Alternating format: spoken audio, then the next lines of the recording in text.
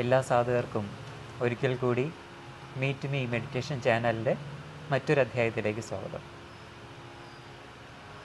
ഞാൻ തേടുന്നത് എന്റെ സത്യത്തെയാണ്. തേടുമ്പോൾ എന്റെ സത്യം എന്നൊക്കെ തോന്നാം. ഒടുങ്ങുമ്പോൾ അവിടെ എന്തായിരിക്കും ഉണ്ടാവുക? തുടക്കത്തിൽ ഉള്ളതൊന്നും ഉണ്ടാവില്ല എന്നതാണ് സത്യം. സത്യത്തിൽ എന്താണോ ഉള്ളത് സത്യം എന്താണോ അത് തിരിച്ചറിയുന്നു.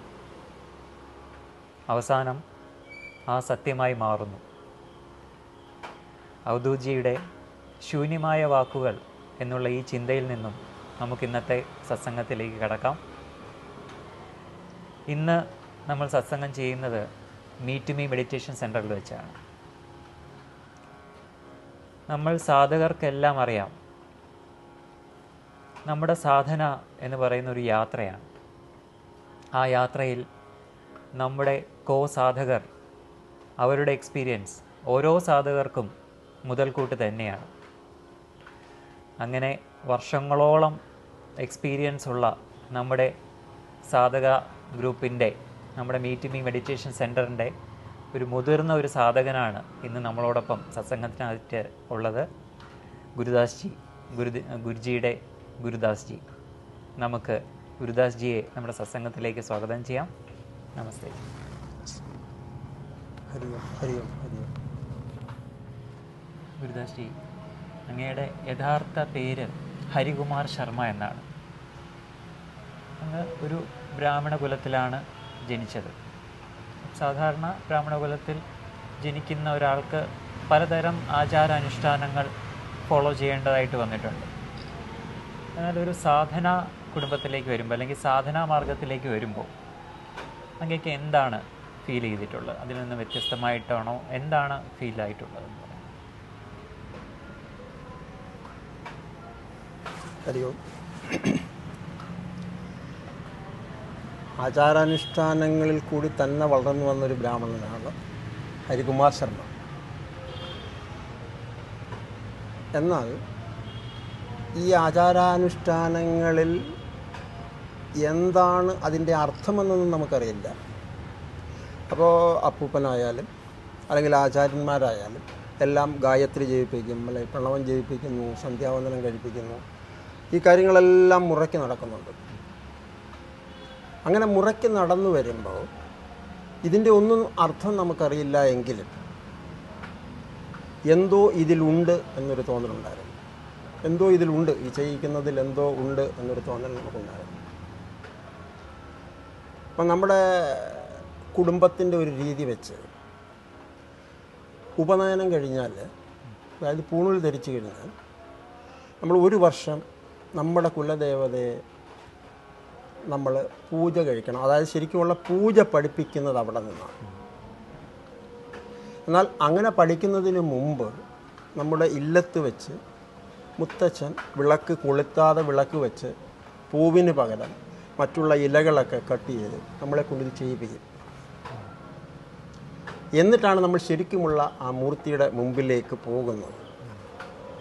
അപ്പോൾ തന്നെ നമുക്ക് അന്നേ ഒരു ഡിഫറൻസ് ഫീൽ ചെയ്തു. കാരണം ഇവിടെ ഇരുന്ന് ഇതൊക്കെ ചെയ്യുന്നതല്ല. മറ്റെന്തോ നമുക്കവിടെ ഉണ്ട്. അതുകൊണ്ടാണ് ഇങ്ങനെ നമ്മളെ കൊണ്ട് ചെയ്യിക്കുന്നത് എന്നൊരു ബോധം നമ്മുടെ ഉള്ളിലുണ്ടായിരുന്നു അതായത് എന്തോ ഉണ്ടിതിൽ എന്നുള്ളൊരു ബോധം നമ്മുടെ ഉള്ളിലുണ്ടായിരുന്നു അപ്പോൾ പിന്നെ സംഭവിച്ചെന്താണെന്ന് വെച്ചാൽ അന്ന് ആ ശൈശവം മുതൽ ഇങ്ങനെ വരുന്ന ആ ഒരു അവസരത്തിൽ നമുക്ക് മറ്റാരോടും പറയാൻ വയ്യാത്ത ഒരുപാട് കാര്യങ്ങളുണ്ട്. ചിലപ്പോൾ അടുത്തിരുന്ന പയ്യൻ നമ്മളെ ഒന്ന് അടിച്ചിരിക്കാം. നമുക്ക് തിരിച്ചടിക്കാൻ പറ്റിയില്ല. കാരണം നമ്മൾ കൃഷകാത്രനായിരുന്നത് കൊണ്ട്. അത് നമ്മുടെ മനസ്സിൽ ഇങ്ങനെ വ്യഥ ഉണ്ടാക്കുമ്പോൾ ഇത് അച്ഛനോട് പറഞ്ഞാൽ അതൊരു വിഷയമാകാം. അല്ലെങ്കിൽ മുത്തച്ഛനോട് പറഞ്ഞാൽ അത് മറ്റൊരു രീതിയിലൊരു വിഷയമാകാം. സാറിനോട് പറയുമ്പോൾ അത് മറ്റൊരു അതുകൊണ്ട് നമ്മൾ ഇതെല്ലാം അയവിറക്കുന്നത് നമ്മുടെ കിരാതമൂർത്തിയുടെ മുമ്പിൽ വന്നിരുന്ന് പൂജ കഴിക്കുമ്പോഴാണ്. അപ്പോൾ പലപ്പോഴും മുത്തച്ഛൻ നമ്മൾ ചോദിച്ചിട്ടുണ്ട് നീ എന്താണ് ഇവിടെ ഇത്രയും കഴിക്കുന്നത്? എന്ന് ചോദിച്ചിട്ടുണ്ട്. അപ്പം നമുക്കെന്താണോ നമ്മുടെ മനസ്സിലുള്ളതെല്ലാം പകർന്നു കൊടുക്കാനുള്ള ഒരു ഉപാധിയാണ് ഭഗവാൻ എന്ന സങ്കല്പം നമ്മളിലേക്ക് വന്നു. അങ്ങനെ അത് കൂടുതൽ മുൻപോട്ട് മുൻപോട്ട് വന്ന് നമ്മുടെ കലാലയ ജീവിതമൊക്കെ ആയി ഡിഗ്രി ആ അതൊക്കെ ആയപ്പോൾ പക്ഷേ പെട്ടെന്ന് മാറ്റങ്ങൾ സംഭവിച്ചു എന്നുള്ളതാണ്. നല്ലൊരു വിശ്വാസിയോ പൂജാരിയോ ഭക്തനോ ഒക്കെ ആയിരുന്ന ഹരികുമാർ ശർമ്മ എങ്ങനെയോ ചുവപ്പിന്റെ പിടിയിലകപ്പെട്ടു എന്ന് പറയുന്നതാണ് സത്യം. അന്നും ഇന്നും നമ്മളെ സംബന്ധിച്ചുള്ള ഒരുപക്ഷെ ഒരു വലിയ വീക്ക്നെസ്സോ അല്ലെങ്കിൽ ഏറ്റവും വലിയൊരു പോസിറ്റീവോ എന്ന് പറഞ്ഞാൽ എന്തിനെയാണോ നമ്മൾ പ്രണയിക്കുന്നത് അതിൽ നമ്മൾ അലിഞ്ഞു ചേരും. അപ്പോൾ കമ്മ്യൂണിസം നമ്മളിലേക്ക് വന്നപ്പോൾ നമ്മൾ അതിൽ കൂടുതൽ വ്യാപൃതനായി. പക്ഷേ എന്തുകൊണ്ടോ അതിൽ നമ്മളുടെ ആ നേരത്തെയുള്ള മൈൻഡായിരിക്കാം അവിടെ നിൽക്കാൻ നമുക്ക് കഴിഞ്ഞില്ല. വർഷങ്ങളെടുത്തെങ്കിൽ പോലും ആ കലാലയ ജീവിതത്തോടൊപ്പം തന്നെ ഇതെന്തുകൊണ്ട് എന്നൊരു ചോദ്യം ഉള്ളത് എന്നാൽ നമ്മൾ പൂജ കഴിക്കുമ്പോഴൊക്കെ ആ മൂർത്തിയെ നമ്മൾ സങ്കല്പിക്കുന്നുണ്ടെങ്കിലും ഇതിനെന്തോ പരിമിതിയുണ്ട് എന്നൊരു തോന്നൽ നമ്മുടെ ഉള്ളിലുണ്ടായിരുന്നു. ഇപ്പോൾ സാമുദായികപരമായിട്ടായാലും നമ്മളൊരു ഉന്നതിയിലാണ് നിൽക്കുന്നതെങ്കിൽ പോലും എന്ത് ഇവരുമായിട്ടൊരു മാറ്റം? അതെന്തിന് എന്നുള്ളൊരു ചോദ്യം നമ്മളിലുണ്ടായി അത് കലാലയത്തിൽ എത്തിയപ്പോൾ മാറി എങ്കിൽ അതിന്റെ അർത്ഥം നമുക്ക് കിട്ടിയില്ല. അല്ലെങ്കിൽ അത് എന്തായിരുന്നു നമുക്ക് മനസ്സിലായില്ല. പക്ഷെ മറ്റു രീതിയിൽ അത് മാറി എന്നുള്ളത് സത്യമാണ്. ജാതിയോ മതമോ ഒന്നും അടിസ്ഥാനമല്ല എന്നുള്ളത് നമുക്ക് മനസ്സിലായി പക്ഷേ അപ്പോഴും നമ്മൾ ചിന്തിച്ചത് ഇടതായാലും ഇവിടെയായാലും എന്തോ ഒന്ന് നമ്മളെ മിസ് ചെയ്യുന്നു ആ ഒരു ധാരണ നമ്മുടെ ഉള്ളിൽ ഉറച്ചു. അപ്പോഴാണ് ശരിക്കും എന്താ പറയുക ഈ ഇവിടെ സംഭവിക്കുന്നതൊക്കെ സംഭവിക്കേണ്ടതാണ് അല്ലെങ്കിൽ സംഭവിക്കേണ്ടതല്ല എന്ന ധാരണ നമ്മുടെ ഉള്ളിലേക്ക് വരുന്നത്. അങ്ങനെ അതിന്റെ ഒരു ഉത്തരം എവിടെ എന്നുള്ള ചോദ്യം ഉയർന്നു വരുമ്പോഴാണ് ഗുരുവുമായിട്ട് നമ്മൾ കണ്ടുമുട്ടുന്നത്. അപ്പോൾ ഗുരു നമ്മളെ ആദ്യം തന്നെ പഠിപ്പിച്ച പാഠം നമ്മൾ കഴിഞ്ഞതിലും പറഞ്ഞു. ഒരു പാലം ഉപയോഗിച്ച് നമ്മൾ നദി കടക്കുന്നു എങ്കിൽ പാലത്തെ നമ്മൾ തൊട്ട് നമസ്കരിക്കുകയൊന്നും വേണ്ട. പക്ഷേ പാലത്തിൽ നിന്ന് നമ്മൾ എന്താണോ നേടിയെടുത്തത് അതിനെ നമ്മൾ വിശകലനം ചെയ്യണം. അപ്പോൾ നമുക്ക് മനസ്സിലായി ആ പാലം ചെയ്യുന്ന ഒരു വലിയ കടമയുണ്ട്. അല്ലെങ്കിൽ ഈ പാലം ഈ സമൂഹത്തിന് വേണ്ടി ഒരു വ്യക്തിയെ എങ്ങനെ മാറ്റിയെടുത്ത് അവന്റെ അസ്തിത്വത്തെ മനസ്സിലാക്കാം എന്ന് അറിഞ്ഞറിഞ്ഞ ഒരു കർമ്മമാണ് ആ പാലത്തിന്റേത് എന്ന് നമ്മൾ മനസ്സിലാക്കുമ്പോൾ നമ്മൾ തിരിഞ്ഞു നിന്നില്ല. പക്ഷേ നമ്മൾ കൂടെ പോയി എന്നുള്ളതാണ്. അപ്പം നമുക്ക് സ്വാഭാവികമായും ഗുരു പണ്ട് ചെയ്തിരുന്നത് പോലെ നമ്മുടെ കൊട്ടാരക്കരയിൽ നമ്മുടെ ഇല്ലത്ത് വെച്ച് സത്സംഗം അല്ലെങ്കിൽ ചെങ്ങന്നൂർ വെച്ച് സത്സംഗം ഇല്ലെങ്കിൽ നേമത്ത് വെച്ച് സത്സംഗം അങ്ങനെ കൈമാനത്ത് വെച്ച്. അപ്പോൾ നമ്മുടെ ഉള്ളിൽ വന്ന ഒരു കാര്യം എവിടെ വെച്ച് എന്ത് ചെയ്താലും എല്ലാം ഒന്നല്ലേ ഈ നടക്കുന്നതെല്ലാം ഒന്നല്ലേ എന്ന ധാരണ. അങ്ങനെയാണ് പിന്നെ നമ്മൾ ബാലരാമപുരത്തേക്ക് വരുന്നതും മീറ്റ് മീ പെറ്റർ ഒരു രീതിയും കാര്യങ്ങളെല്ലാം വരുന്നത്. അപ്പോൾ ലക്ഷ്യമെന്ത് എന്ന് കണ്ടുപിടിക്കാൻ പറ്റാത്ത രീതിയിൽ നമ്മൾ കർമ്മങ്ങൾ ചെയ്തുകൊണ്ടിരുന്നു എന്നുള്ളതാണ് സത്യം. എന്തിനാണ് നമ്മളിതെല്ലാം ചെയ്യുന്നത്? മോക്ഷമാണോ എന്ന് ചോദിച്ചാൽ ആണ് എന്നന്ന് വിശ്വസിച്ചിരിക്കാം. പക്ഷേ ആ മോക്ഷം എന്താണ് എന്നുള്ളതിനെക്കുറിച്ച് നമുക്ക് അറിയാത്തൊരു അവസ്ഥ ഉണ്ടാകും. ഇവിടെ വന്നു ഗുരുവിനെ കാണുമ്പോൾ ആദ്യം നമ്മളെ പൊളിച്ചെടുത്ത് തുടങ്ങുന്ന അവിടെ നിന്നാണ് മോക്ഷിതനായവന് പിന്നെന്തിന് മോക്ഷം? ഈ ചോദ്യത്തിന് മുമ്പിൽ നമ്മൾ കാൽ പിടിച്ചു. കാരണം ഈ സമൂഹത്തിൽ കാണുന്നത് പോലെ അല്ലെങ്കിൽ പല സമുദായങ്ങളും പറയുന്ന പോലെ ഞാൻ പാപിയാണ് പാപിയാണ് എന്ന ധാരണ നമുക്ക് വേണ്ട എന്ന് ഗുരു നമ്മളോട് പറഞ്ഞു. കാരണം നമ്മുടെ ജന്മം തന്നെ പുണ്യമാണെങ്കിൽ നമ്മൾക്ക് എത്തേണ്ടത് എവിടെയാണ് എന്നറിയുക മാത്രമാണ് നമ്മൾ ചെയ്യേണ്ടത്. പക്ഷേ ഗുരുവിന്റെ വാക്കുകളിൽ പറഞ്ഞാൽ യാത്ര തുടങ്ങുന്നതിന് മുമ്പേ യാത്രയുടെ ലക്ഷ്യത്തെക്കുറിച്ച് വാചാലനായിട്ട് കാര്യമില്ല. അപ്പം നമ്മൾ അറിഞ്ഞറിഞ്ഞ് പോകുന്ന ഗുരുവിന് പുറകെ ഒരു ദാസനായി നമ്മൾ നമ്മുടെ വഴിയും സ്വാഭാവികമായും അദ്ദേഹം നമുക്ക് പല പല പാതയങ്ങളാണ് തന്നത്. അതിൽ വളരെ ക്രൂരമായ പാതയങ്ങളും ഉണ്ടായിരുന്നു. വളരെ വളരെ നമ്മുടെ ഹാർട്ട് ഫെൽറ്റിംഗ് എന്നോ അല്ലെന്താ പറയുന്നത് ഹൃദയത്തെ ഹൃദയത്തിന്റെ ഇടിപ്പ് അതിന്റെ സംഗീതം നമുക്ക് കേൾക്കത്തക്ക രീതിയിലുള്ള പാധേയങ്ങളും ആ കൂട്ടത്തിലുണ്ടായിരുന്നു അപ്പം നമുക്കൊരു കാര്യം മനസ്സിലായത് ഈ കാണുന്നതൊന്നും ഇതിനെല്ലാം ലിമിറ്റേഷനുണ്ട് ഏതെടുത്താലും. അഥവാ ഒരു ഉപാധിയായി എല്ലാവരും വർത്തിക്കുമ്പോഴും താൻ എന്തിന്റെ ഉപാധിയാണ് എന്ന് തിരിച്ചറിയാൻ പറ്റാത്ത ഒരവസ്ഥയാണ്. അതെന്താണ് എന്ന് നമ്മളെ ധരിപ്പിച്ചുകൊണ്ട് നീ തേടുന്നത് സ്വർഗമോ നരകമോ ഒന്നുമല്ല. മറിച്ച് നിന്റെ ലക്ഷ്യം നീ തന്നെയാണ്. നിന്നെ അറിയുക. അതാണ് നിനക്ക് ചെയ്യാനുള്ളത്. മറ്റൊന്നും നിനക്ക് ചെയ്യാനില്ല ഈ ലോകത്തിൽ എന്ന് നമ്മുടെ അകത്തേക്ക് പറഞ്ഞു തന്ന് നമ്മളെ അതിലേക്ക് കൂട്ടിക്കൊണ്ടു പോവുകയാണ് അതായത് ഒരു പ്രത്യേക സ്ഥലത്ത് പ്രത്യേകം ഏരിയ തിരിച്ച് ഒരാളെ ജീവിക്കാൻ അനുവദിക്കുന്നു. അല്ലെങ്കിൽ ഒരു മ്യൂസിയത്തിൽ ഒരു സിംഹത്തെയോ ഒരു മൃഗത്തെയോ ജീവിക്കാൻ അനുവദിക്കുമ്പോൾ അവനെ തുറന്നവന്റെ വാസസ്ഥലം അല്ലെങ്കിൽ കാനനത്തിലേക്ക് വിട്ടാൽ അവനുള്ള അവസ്ഥ. അപ്പം നമ്മളിലെ നമ്മളെ നമ്മൾ പൂർണമായി അറിയാൻ തുടങ്ങുന്നു എന്നുള്ളതാണ് ശരിക്കുമുള്ള വ്യത്യാസം. അപ്പം നമുക്ക് മനസ്സിലായി കെട്ടുകളെല്ലാം ആരോ കെട്ടിവെച്ചതാണ് ഒരു കാര്യവുമില്ല. ഇതിനപ്പുറമാണ് നമ്മൾ തേടേണ്ടതും തേടുന്നതും. അപ്പോൾ നമ്മുടെ ലക്ഷ്യത്തെക്കുറിച്ച് ഒരു നല്ല ധാരണ നമുക്കുണ്ടായി. അപ്പോൾ സ്വാഭാവികമായും നമ്മുടെ പ്രവർത്തനങ്ങളും ആ രീതിയിലായി. അപ്പോൾ പറഞ്ഞു തന്നതൊന്നും തള്ളിക്കളയാനല്ല. ആ പറഞ്ഞു തന്നത് എന്തായിരുന്നു എന്ന് നമ്മളെ മനസ്സിലാക്കിച്ചതാണ് നമ്മുടെ സാധനം. ഒരു പറയുന്നത് പോലെ നമ്മൾ ഒരിടത്തിരുന്ന് കണ്ണുമടച്ച് മണിക്കൂറുകൾ ഇരിക്കണമെന്നൊന്നുമില്ല. പക്ഷേ നമ്മൾ ചെയ്യുന്ന കർമ്മം എന്താണോ അതിനെ അറിഞ്ഞ് അതിന്റെ ലക്ഷ്യം അറിഞ്ഞ് നമ്മൾ ചെയ്യുകയാണെങ്കിൽ പിന്നെ നമ്മുടെ വഴി അതിനത്യാവശ്യമുള്ള പാതയം അതെല്ലാം ഗുരുവായിട്ട് നമുക്ക് തരും. അപ്പോൾ ആ ഒരു വിശാലത ലക്ഷ്യമെന്താണെന്ന ധാരണ ഇതെല്ലാം നമുക്കുണ്ടാക്കി തന്നത് നമ്മുടെ ഗുരുവാണ് നമ്മുടെ സാധനയാണ്. അതുകൊണ്ട് തന്നെയാണ് നമ്മളതിൽ പൂർണ സമർപ്പണം ചെയ്യാൻ ശ്രമിച്ചുകൊണ്ടിരിക്കുന്നത്. അതുകൊണ്ടാണ് ദാസോഹം ദാസോഹം എന്ന് നമ്മളെപ്പോഴും പറഞ്ഞുകൊണ്ടിരിക്കുന്നത്. ആധ്യാത്മികതയിൽ മുന്നോട്ട് പോകണമെങ്കിൽ ഒരു ഗുരു അനിവാര്യമാണെന്ന് പറയാറുണ്ട്. അതിന്റെ കാരണം എന്താണെന്ന് വിശദീകരിക്കാം.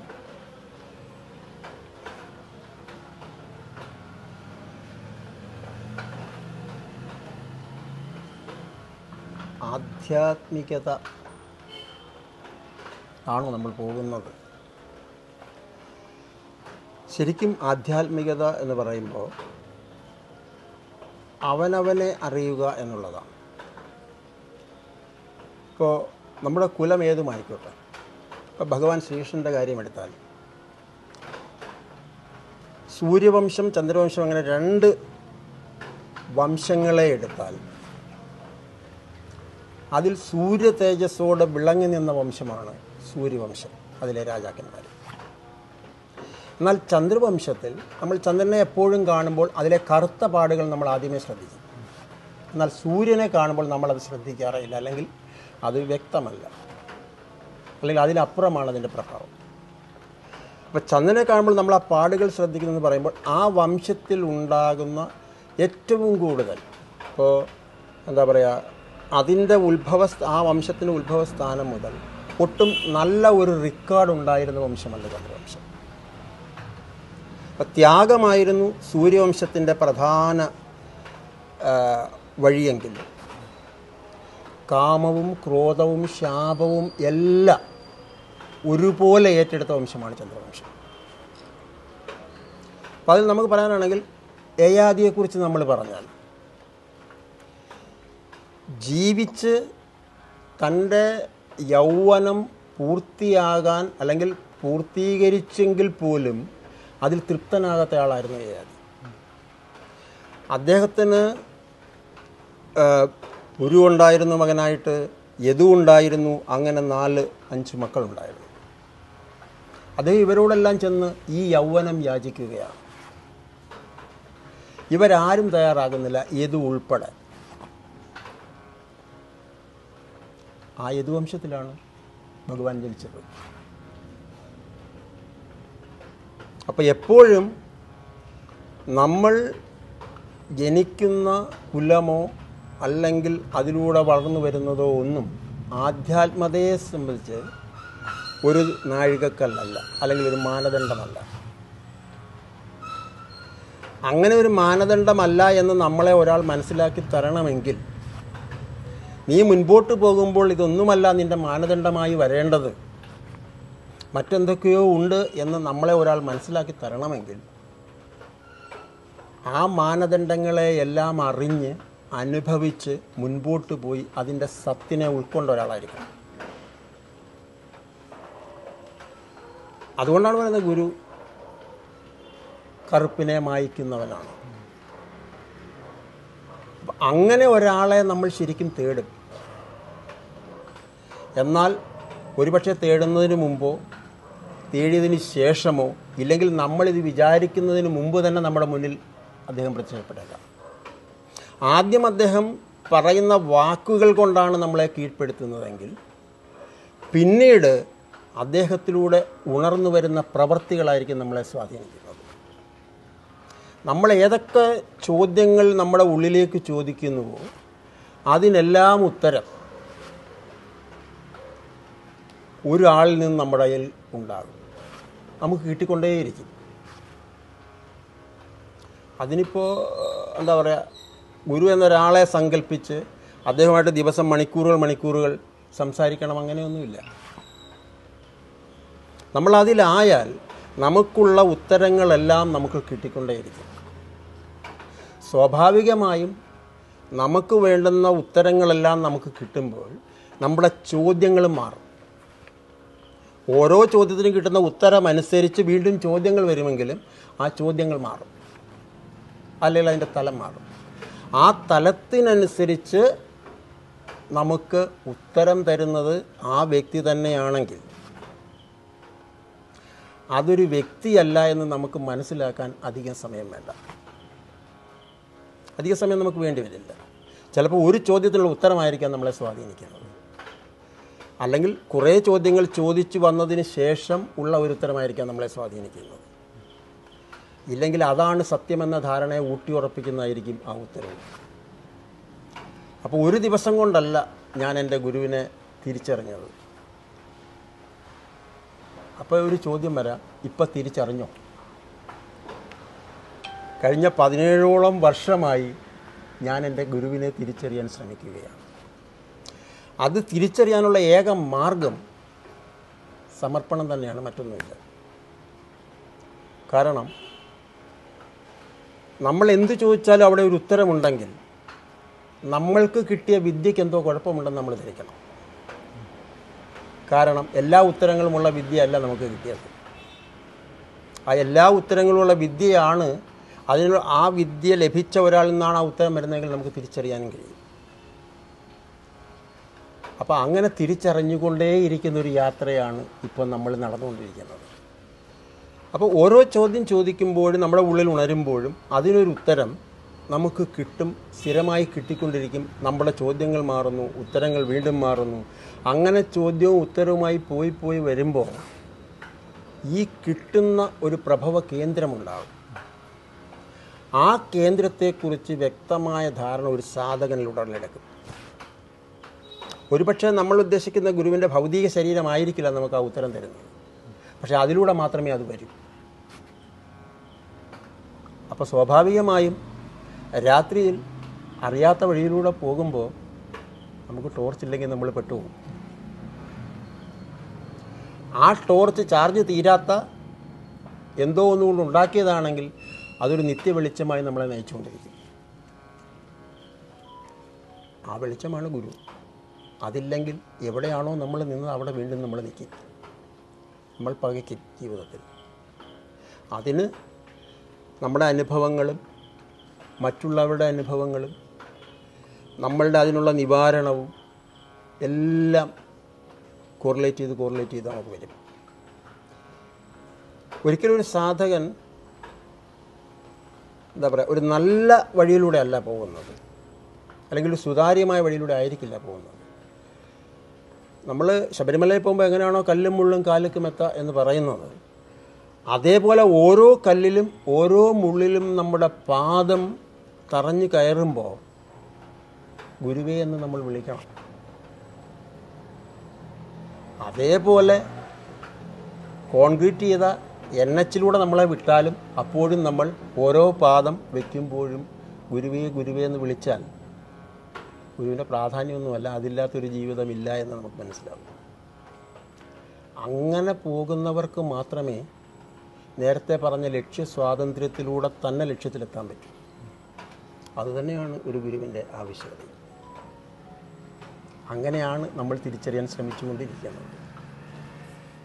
ഗുരുദാസി നമുക്കറിയാം നമ്മുടെ ഔദ്യോഗി പൊതുവേദികളിൽ അങ്ങനെ സംസാരിച്ച് കണ്ടിട്ടില്ല സംസാരിക്കാറില്ല. എന്നാൽ ആ അവസരങ്ങളിലെല്ലാം ഔദൂജിയുടെ ശബ്ദമായിട്ട് മാറുന്നത് ഗുരുദാസ്ജിയാണ്. ആ അവസരങ്ങളെ അങ്ങനെ ലഭിക്കുന്ന അവസരങ്ങളെ എങ്ങനെയാണ് അങ്ങ് കൈകാര്യം ചെയ്യുന്നത്? അതിനെക്കുറിച്ച് കൂടുതൽ അറിയാൻ താല്പര്യമുണ്ട്.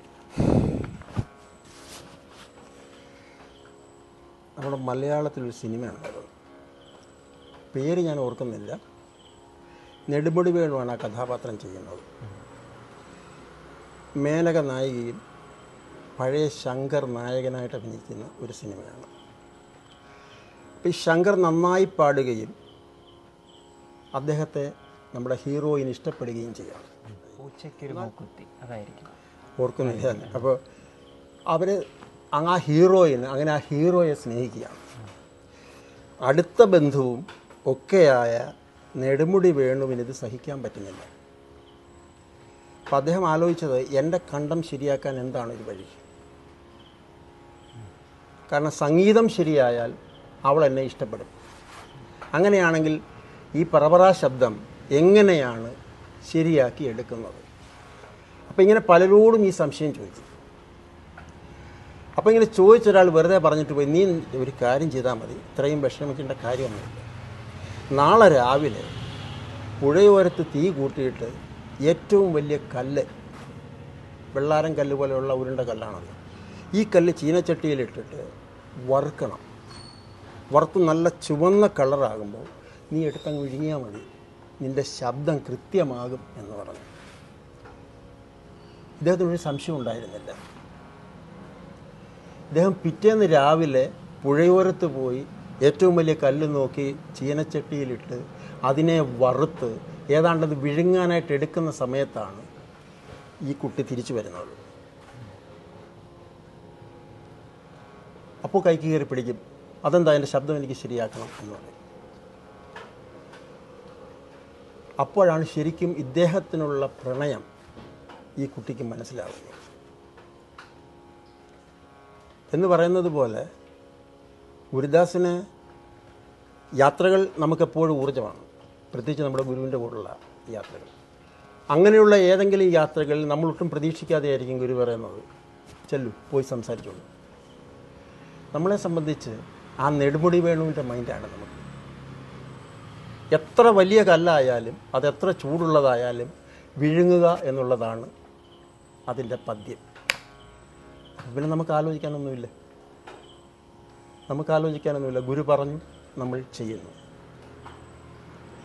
അതിന്റെ റിസൾട്ടിനെ കുറിച്ചോ ഒന്നും നമ്മൾ ആകാംക്ഷഭരിതനല്ല. കാരണം ഒരുപക്ഷെ ഈ ജന്മത്തിലല്ലാത്ത മറുജന്മത്തിൽ എപ്പോഴോ ആ ഗുരുവിന്റെ സാമീപ്യവും ആ ഗുരുവിന്റെ സാന്നിധ്യവും ഈയുള്ളവന് ലഭിച്ചിട്ടുണ്ടാകും. അതുകൊണ്ടായിരിക്കാം ഗുരു നമ്മളെ അതിന് നിയോഗിക്കുന്നതും ആ നിയോഗിക്കുന്നത് ഗുരു ചിന്തിക്കുന്ന എങ്ങനെയാണോ അങ്ങനെ ആയിരിക്കാം നമ്മൾ പറയുന്നത്. ഇല്ലെങ്കിൽ അല്ലായിരിക്കാം. എന്തായാലും ഇവൻ മതി എന്ന് തീരുമാനിക്കുന്നതിൽ മറ്റെന്തോ ഉണ്ടാകാം. അതുകൊണ്ട് തന്നെ ആ ഉത്തരവാദിത്വം ഗുരുദാസിന്റേതല്ല ഗുരുദാസിൽ നിന്ന് വരുന്ന എന്തും അത് ഗുരു തന്നെ മനസ്സിൽ സങ്കല്പിക്കുന്നതായിരിക്കും അതുകൊണ്ടാകാം അത് കഴിഞ്ഞാലും അതിനെക്കുറിച്ച് നമ്മൾ വ്യതീതനാകാത്തുള്ളൂ അപ്പോൾ ബാലുജി ചോദിച്ചൊരു ചോദ്യമുണ്ട്. ആ സാഹചര്യം എങ്ങനെയാണ് നമ്മൾ കൈകാര്യം ചെയ്യുന്നത്? അത് കൈകാര്യം ചെയ്യേണ്ട ആവശ്യമില്ല. നമ്മൾ കൈകാര്യം ചെയ്യുന്നില്ല. അതാണ് അതിന്റെ സത്യം. സാഹചര്യം വന്നു ഗുരു പറയുന്നു നമ്മൾ ചെയ്യുന്നു സാഹചര്യം പോകുന്നു. ഗുരു നമ്മളോടൊപ്പം കാണും നമ്മൾ ഗുരുവിനോടൊപ്പം കാണും നമ്മൾ യാത്ര തുടരുന്നു അപ്പോൾ ശരിക്കും അതിനെക്കുറിച്ച് നമുക്കൊന്നും പറയാനോ ഒന്നുമില്ല. തരുന്ന ഒരു ജോലി നമ്മൾ ചെയ്യുന്നു. നമ്മുടെ ജോലിയുടെ പൂർണത ഗുരുവിലാണ്. അതുതന്നെയാണ് ആ സാഹചര്യം. ഗുരുജാശ്രീ നേരത്തെ സൂചിപ്പിച്ചല്ലോ നമ്മൾ ഗുരുജിയോടൊപ്പം യാത്ര ഗുരുജിയോടൊപ്പം ഉള്ള യാത്ര ഒരു പ്രത്യേക അനുഭവമാണ്. അങ്ങനെ ലഭിച്ച ഒരു അവസരമാണ് നമുക്ക് കഴിഞ്ഞ വർഷത്തെ അഗസ്ത്യാർകൂട യാത്ര. തീർച്ചയായും തീർച്ചയായിട്ടും. നമ്മൾ ഓരോ സത്സംഗത്തിനായിട്ടൊക്കെ പോയിട്ട് വരുമ്പോഴാണ് പെട്ടെന്ന് നമുക്ക് ആ ഒരു അവസരം ലഭിക്കുന്നത്. നമ്മളും ഞാനും ഈ പണ്ട് ഗുരുജി ആദ്യത്തെ ഒരു യാത്ര പോയല്ലോ.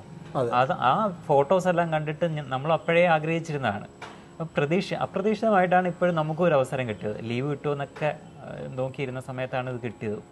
അപ്പം ആ ഒരു എക്സ്പീരിയൻസ് പെട്ടെന്നുണ്ടായ ഒരു അഗസ്ത്യാകൂട യാത്രയുടെ ആ എക്സ്പീരിയൻസ് ഒന്ന് വിശദീകരിക്കാം യാത്രകൾ അനുഭവങ്ങളെന്ന് മാത്രമല്ല വൈവിധ്യപൂർണമായ അനുഭവങ്ങളാണ്. അതായത് ഒരു യാത്രയിൽ സംഭവിക്കുന്നതൊന്നും അടുത്ത യാത്രയിൽ സംഭവിക്കില്ല. പ്രത്യേകിച്ചും ഗുരുവിനോടൊപ്പം യാത്ര ചെയ്യുമ്പോൾ. തിരിച്ചു പറഞ്ഞാൽ സംഭവിക്കുന്നതെല്ലാം ഓരോ സാധകനും അവന്റെ ലക്ഷ്യത്തിലേക്ക് പോകാനുള്ള ഓരോ പ്രതിച്ചോറാണ്. ഇപ്പോൾ നമ്മൾ അഗസ്ത്യാർ കൂടത്തെ പറഞ്ഞാൽ സത്യം പറഞ്ഞാൽ ഗുരു വർഷങ്ങളായി നമ്മളെടുത്ത് പറയും. പ്രത്യേകിച്ചും ഈ യാത്രയ്ക്ക് മുമ്പ് ഗുരു പോയിട്ട് വന്നു കഴിഞ്ഞപ്പോൾ എങ്ങനെയായാലും പറഞ്ഞു വരുമ്പോൾ ഈ അഗസ്ത്യാർ വന്ന് പ്രശ്നം ഉണ്ടാക്കുന്നൊരവസ്ഥയുണ്ട് അപ്പം നമ്മൾ നമ്മുടെ ഉള്ളിൽ തന്നെ ഈ അഗസ്ത്യാർ കൂടെ ഉണ്ടാക്കിയെടുത്തു. ഇപ്പോൾ ഗുരു പറയും ഇങ്ങനെ തിരിഞ്ഞു ചെല്ലുമ്പോഴാണ് നമ്മൾ ആനയെ കാണുന്നത്. അല്ലെങ്കിൽ നമ്മൾ അവിടെ ചെല്ലുമ്പോൾ വളരെ ഇതായിട്ടുള്ള യാത്രയാണ്. എന്ന് ഇങ്ങനെ ഓരോന്ന് പറയുമ്പോഴും അതെല്ലാം നമ്മുടെ മൈൻഡിലേക്ക് വൺ ബൈ വൺ ആയിട്ട് വൺ ആയിട്ട് ഇങ്ങനെ ഒരു എന്താ പറയുക ഒരു വലിയ അഗസ്ത്യാറെ നമ്മൾ ഉണ്ടാക്കിയെടുത്തു. അപ്പോൾ തീർച്ചയായിട്ടും അതൊരു വലിയ ക്രിട്ടിക്കലായിട്ടുള്ള യാത്രയാണ്. പക്ഷേ ഗുരുവിന്റെ കൂടാണ്. അപ്പം പിന്നെ നമുക്ക് മറ്റൊന്നും ആലോചിക്കാനും അതിനകത്തിലില്ല. പോണം. അങ്ങനെ ഗുരുവിന്റെ വാക്കിൽ നമ്മൾ പോണം എന്ന അനുഭവം ഉണ്ടാക്കിയെടുത്തു. അതിനുശേഷം നമ്മൾ ശരിക്കും പറഞ്ഞാൽ അഗസ്ത്യാർ കൂടെ അങ്ങോട്ട് വിട്ടു. വിട്ടിട്ട് നമ്മുടെ ദൈനംദിനമായ സാധനയും മറ്റുള്ള കാര്യങ്ങളും ഒക്കെ ഇങ്ങനെ പോകുന്നു. മറ്റ് ചില ചെറിയ ചില്ലറ യാത്രകളൊക്കെ ഗുരുവിനോടൊപ്പം ചെയ്യുന്നു. അങ്ങനെ പോകുന്നു. എങ്കിലും നമ്മൾ ഗുരുവിനോട് പറഞ്ഞു അടുത്ത പ്രാവശ്യം ഏതെങ്കിലും വഴിയിൽ അതിനുള്ള പാസ് കിട്ടുമെങ്കിൽ ദാസനെ കൂടെ ഒന്ന് കൺസിഡർ ചെയ്യണം. അപ്പോൾ നമ്മൾ മറന്നു. അതും മറന്നു. അങ്ങനെ ഇരിക്കുമ്പോഴാണ് നമ്മൾ എറണാകുളം ട്രിപ്പാണെന്ന് തോന്നുന്നു. ആ ട്രിപ്പിൽ നമ്മൾ ബാക്ക് സീറ്റിലിരിക്കുന്നു കൂടെ ബാലുജിയുണ്ട്. വേറെ ഒരാളുണ്ടെന്നാണ്. ആ ശരൺജിയുണ്ട് ഫ്രണ്ടിൽ ഗുരു ഇരിക്കുന്നു. അപ്പോൾ ഗുരുവിന് സാറിന് ഒരുപാട് ഫോണുകൾ വരാറുണ്ട്. അപ്പം നമ്മളെ ശ്രദ്ധിക്കാറില്ല. ഒന്നുകിൽ നമ്മൾ ജപം തുടരുകയോ ഇല്ലെങ്കിൽ ബാലജിയോ അല്ലെങ്കിൽ അടുത്തിരിക്കുന്നവർ സംസാരിക്കുക പെട്ടെന്ന് നമുക്കൊന്ന് ക്ലിക്ക് ചെയ്തു. കാരണം ഉണ്ടോ? ടിക്കറ്റ് ഉണ്ടോ? ഇതാണ് ഗുരുവിന്റെ ആദ്യത്തെ ചോദ്യം നമ്മുടെ ഉള്ളിലേക്ക് വരുന്നത്. അപ്പോൾ നമ്മൾ ശ്രദ്ധിച്ചു എവിടേക്കാണ് ടിക്കറ്റ് അപ്പോൾ പെട്ടെന്ന് ഈ അഗസ്ത്യാർ നമ്മളെ ഉണർത്തുന്നതായിട്ടൊരു ഫീലിംഗ് നമുക്കുണ്ടായി. അപ്പോൾ നമ്മൾ ശ്രദ്ധിച്ചപ്പോൾ കറക്റ്റാണ് അഞ്ച് ടിക്കറ്റ് ഉണ്ട്. അപ്പോൾ ഗുരു ഒരു ശങ്കയുമില്ലാതെ പറയുന്നു സെറ്റ് ചെയ്തു എന്നാണ് പറയുന്നത്. അപ്പം ഫോൺ വെച്ചപ്പോൾ നമ്മൾ ഗുരു എന്ത് പറ്റി? എന്തോ എങ്ങോട്ടാണ്. അപ്പോൾ അഗസ്ത്യാർ കൂടമേ വളരെ സിമ്പിളായിട്ടുള്ള മറുപടി വന്നു. സത്യം പറഞ്ഞാൽ നമുക്കത് അക്സെപ്റ്റ് ചെയ്യാൻ ഒരല്പം പ്രയാസം തോന്നി. കാരണം എന്താണ് സംഭവിക്കുന്നത് നമുക്ക് തിരിച്ചറിയാൻ പറ്റാതെ കാരണം നമ്മുടെ ഉള്ളിൽ വളർന്നു നിന്ന അഗസ്ത്യാർ പൂർണ എന്താ പറയുക വളർച്ച പ്രാപിച്ച് നമ്മളിലേക്ക് എത്തുന്നതായിട്ടാണ് നമുക്ക്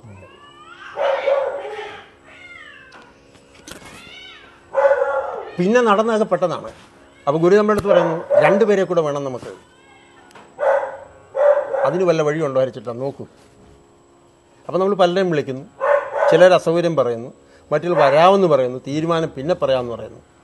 അപ്പോൾ വൈകിട്ട് നമ്മൾ ഗുരുജിയെ വിളിച്ചു ഗുരുജി എന്തെങ്കിലും മാറ്റമുണ്ടോ? കുഴപ്പമില്ല ആളെല്ലാം തെളിഞ്ഞിട്ടുണ്ട് എന്നാണ് ഗുരുജിയുടെ മറുപടി. സത്യം പറഞ്ഞാൽ അതിൽ പങ്കെടുത്ത ഓരോരുത്തർക്കും. ഇപ്പം ശരജ്ജിയെ നോക്കി.